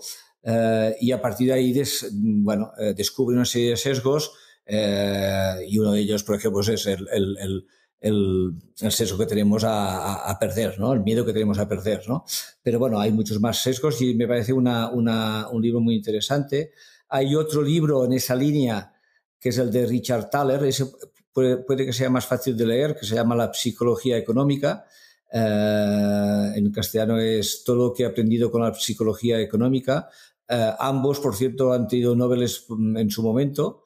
Eh, y lo que decías, eh, hay otro libro que me gusta más, eh, no hemos podido hablar de planificación financiera, hay un libro que es muy interesante, este solo tengo el nombre en inglés, que es de, de Carl Richards, uh, The One Page Financial Plan, A Simple Way to Be Smart About Your Money Hardcover, y explica un poco pues cómo planificar tu, tu vida financiera. Yo, con yo creo que con, estas, con estos tres libros una persona deberías ser capaz de entender los, las tres patas eh, más importantes para mí de, la inversión, ¿eh? más allá de, escoger la empresa adecuada, eh, etcétera, etcétera, o el índice adecuado. Si dejo un poquito el tema puramente financiero, aunque ya ves que me he ido por, por otros, por, otros derroteros, hay un libro que, que, ese sí que no tiene nada que ver con, con, la, con el tema financiero, que es el cisne, el cisne negro de Nassim Nicolás Taleb, y me parece un libro muy adecuado en las circunstancias que estamos hablando. El concepto del cisne negro es aquello de, de que no sabemos que existen. ¿eh? Si alguien le pregunta si sabes si hay cisnes negros, dirían que no existe pero sí que existen.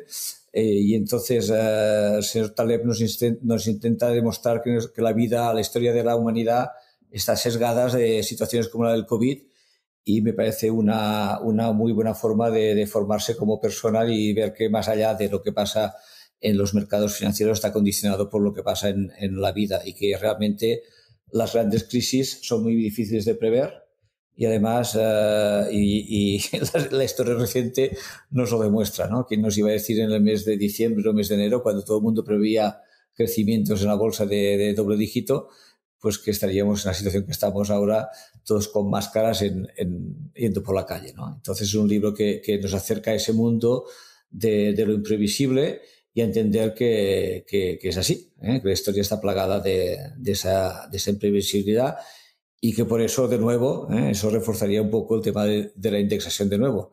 Si no sé qué es lo que va a pasar, mejor diversificarme y de alguna forma estar bien protegido con una cartera que con, activos descorrelacionados. Pues sí, de los que has comentado, todos ya son clásicos que han aparecido en algún momento de los episodios de este podcast. Eh, el de Barton Malkiel, efectivamente, un académico, es catedrático ¿no? en, una universidad top, eh, americana y, efectivamente creo que vamos ya por la versión 13 o 14. Él ha ido actualizando su superclásico. Un libro que empezó dedicando, por cierto, a Paul Samuelson al principio de todo.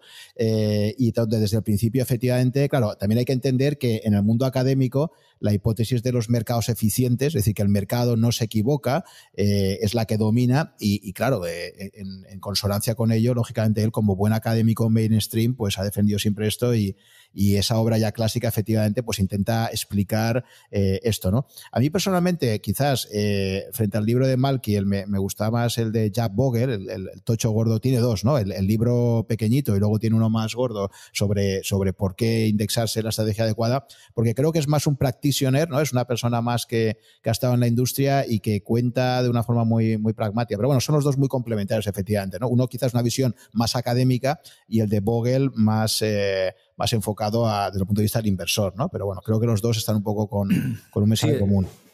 El Bogle también es muy recomendable. Eh, de hecho, Jack Bogle tiene varios. Eh, pero el de Valkyr creo que tiene una componente de, hacerte pasar por diferentes formas de invertir y para una persona que se inicie puede ser interesante tener esa visión. Obviamente está sesgado por la, opinión del señor Valkyr, eh, pero bueno, me parece, me sigue pareciendo interesante desde, ese punto. Y hay un libro que me he olvidado comentarte que, me parece súper interesante, que siendo de inversión es más de la vida de un señor que se llama Edward O. Thorpe, uh, A Man for Markets. Este señor es un señor que, que también matemático, curiosamente, que aprendió a cómo batir al casino, lo echaron de todos los casinos. Eh, esto lo hacía con, jugando al blackjack. Después eh, creo que eh, él se van a gloria que inventó el primer ordenador personal porque inventó una fórmula para batir la ruleta, pero curiosamente se metió en, en el mundo de, de, la inversión, pero no se metió hasta que encontró una ventaja competitiva Em, que, él pudiera medir. ¿eh? Él estuvo usando la, la fórmula de, de Black-Scholes para las opciones, ¿eh? hacía, hacía operaciones cruzadas que le daban sistemáticamente una forma de ganar. ¿no? Y el libro es muy interesante porque es una vivencia de este señor de que pasa por todas sus, sus etapas en la vida eh, y, y, y, cómo en algún momento lo deja ¿eh? porque pierde su ventaja competitiva ¿eh? y, él, y él al final de nuevo vuelve a defender la gestión indexada un poco por eso, porque, porque es consciente que las ventajas competitivas acaban y, tal. Y es un libro pues interesante por esa doble faceta que, te introduce también a temas de inversión, pero desde la perspectiva de un señor que, que ya te digo, empezó jugar, eh, batiendo a, los casinos, jugando cartas y, al final se, se, convirtió en, montó un fondo que tuvo que cerrar por temas que, que ahora son muy largos de explicar y que el que lea el libro lo verá. Y es donde encontré, por cierto, eh, esa, análisis de la performance de Wall Street, de, perdón, de Warren Buffett, donde troceaba y, y demostraba que esa, esa ventaja competitiva se iba perdiendo con el tiempo. Sí, sí, el libro de Edward Thorpe también ha aparecido en algún otro podcast nuestro, yo lo tengo también, un libro excelente, A Man for All Markets, creo que no está traducido de momento, lamentablemente. Yo lo descubrí porque, bueno, para mí Taleb es un referente absoluto, de hecho le hemos destinado ya dos episodios del podcast a, hablar de toda su obra y, precisamente Taleb prologa este libro y, bueno, pues eh, eh, Edward Thorpe es un profesor de matemáticas americano que efectivamente, además de ser académico, como Simons, que también era un catedrático de matemáticas, luego ha sabido dar el salto a, además de ser profesor de matemáticas, ha, sido de los pocos académicos que ha sabido aprovechar sus conocimientos para aplicarlos al mundo financiero y obtener unos resultados espectaculares. ¿no? Sí, sí, sí, Entonces, efectivamente, coincido plenamente contigo, es un libro fascinante donde explica toda su trayectoria profesional, sus historias. O sea, efectivamente, como tú decías, llegó a estar eh, prohibido su acceso a los casinos porque era una persona que había intentado que, que sistemáticamente ganaba en el blackjack y tal. Y, la verdad es que es un libro interesantísimo para leerlo, ya digo, con esa barrera para la gente que tenga dificultades para leer en inglés, que de momento creo que no está traducido. Luego el que has comentado de Kahneman, un súper clásico que también ha sido mencionado en, en varios de los podcasts sobre eh, sesgos comportamentales, el de Taylor también. Eh, y luego el único que no conocía es este de, de Richards, de, en concreto de, de, Carl Richards, este de, One Page Financial Plan. Este sí que no, este no lo conocía y, bueno, pues le echaré una ojeada a ver. Sí, es muy interesante porque él lo explica con haciendo dibujos. De hecho, esos dibujos los utiliza mucha gente. El típico es aquel gráfico que dice cuando estás arriba, pues eh, te, parece que, te parece que es, el, es aquel ciclo vital que pues él lo dibuja, pero está muy bien porque va explicando planificación financiera con dibujitos y es muy fácil de entender y me parece que, es un concepto de la planificación financiera muy interesante de que nuestros oyentes vayan entrando en ello, en ello porque de, alguna manera es una forma eh, una buena forma de, segmentar nuestro patrimonio y entender lo que tenemos que hacer. Y eso es casi tan importante como escoger dónde invertimos. Entonces me parece muy interesante que la gente lo lea. No sé si está traducido, la verdad es que no lo sé. Eh, eso también es una recomendación que haría. Eh, hoy en día el inglés es, imprescindible. El que quiera estar en finanzas y quiera aprender, pues por suerte o por desgracia aún sale todo en inglés, pero el tema... Y es una muy buena forma de aprender inglés, por cierto. Hoy en día que... Totalmente de acuerdo contigo, Jordi, porque es que encima, ahora ya están mejorando algunas traducciones, pero es que, es que yo me acuerdo, por ejemplo, otro clásico, el del inversor inteligente de Graham, las primeras ediciones que había en España, bueno, la, la traducción era espantosa, ¿no? Entonces, es verdad que eh, una forma de destrozar un libro muchas veces, eh, o sea, a veces te lo traducen y es casi peor, ¿no? Porque te lo, te lo compras pensando que, que, lo vas a leer más fácil y lo único que haces es distorsionar el mensaje del autor porque, porque está muy mal traducido, ¿no? Sí, sí. Entonces, eh, totalmente de acuerdo contigo de, invitar a la gente a que lea directamente en inglés, practicas el inglés y encima seguramente muchas veces incluso a veces lo vas a entender mejor, ¿no? Sí, sí. Además, hoy en día es muy fácil porque en mi, cuando sea hace 30 años no tenías la posibilidad de ponerte en el iPad o en el, o en el iPhone picar una palabra, es decir, obviamente si no tienes ningún conocimiento de inglés será muy difícil, pero si tienes un conocimiento de inglés básico, eh, hoy en día realmente puedes eh, aprender finanzas y aprender inglés a la vez, eh, traduciendo palabras concretas que te ayuden a, avanzar en la lectura. O sea, que eso lo recomendaría vivamente. Totalmente de acuerdo. Pues nada, Jordi, muchísimas gracias por este tiempo que, hemos estado conversando. Creo que la charla va a ser muy ilustrativa para todos aquellos oyentes que al final lo que buscan es aprender a invertir mejor a largo plazo. Creo que lo que estáis haciendo en InvestMe va en esa línea de, dar más opciones a los inversores españoles para poder invertir de forma indexada y diversificada y, contribuye mucho a ampliar la oferta que existe en España, una oferta desde mi punto de vista quizás aún demasiado controlada por los bancos, que siguen siendo aún los que controlan los canales de distribución y con productos en general, pues que siguen teniendo comisiones muy elevadas, con lo cual creo que todo lo que sea eh, dar más opciones de coste bajo y, con una estrategia que creo que a largo plazo pues tiene muchísimo sentido, pues me parece estupendo. Así que nada, lo dicho, pues muchísimas gracias por pasar este rato con nosotros y, hasta una próxima ocasión. Ha sido un placer, Juan. Eh, gracias por invitarme a tu podcast. Eh, y bueno, repetir lo que tú mismo transmites, que la inversión para, para largo plazo y ya en ese, en ese plazo pues la gente sabrá encontrar la, forma eficiente de invertir. ¿eh? No especular, sino invertir. Y aprender mucho. nunca se para aprender. Y siempre con humildad, siempre que nunca te creas que ya te lo sabes todo, porque ese es el momento que, que, Eso. fracasas. Yo cada día aprendo cosas aún. Genial. Pues nada, Jordi, un abrazo y hasta una próxima ocasión. Un placer. Hola. Si te gustan estos coloquios que mantengo con inversores, aficionados o profesionales con una dilatada trayectoria, simplemente recomendarte que te hagas usuario registrado de Rankia si aún no lo eres y te suscribas a mi blog para recibir todas las novedades que publico allí, que pueden ser tanto webinars que vaya a hacer próximamente como la información de los nuevos podcasts que publico. El blog está disponible en rankia.com barra blog barra such.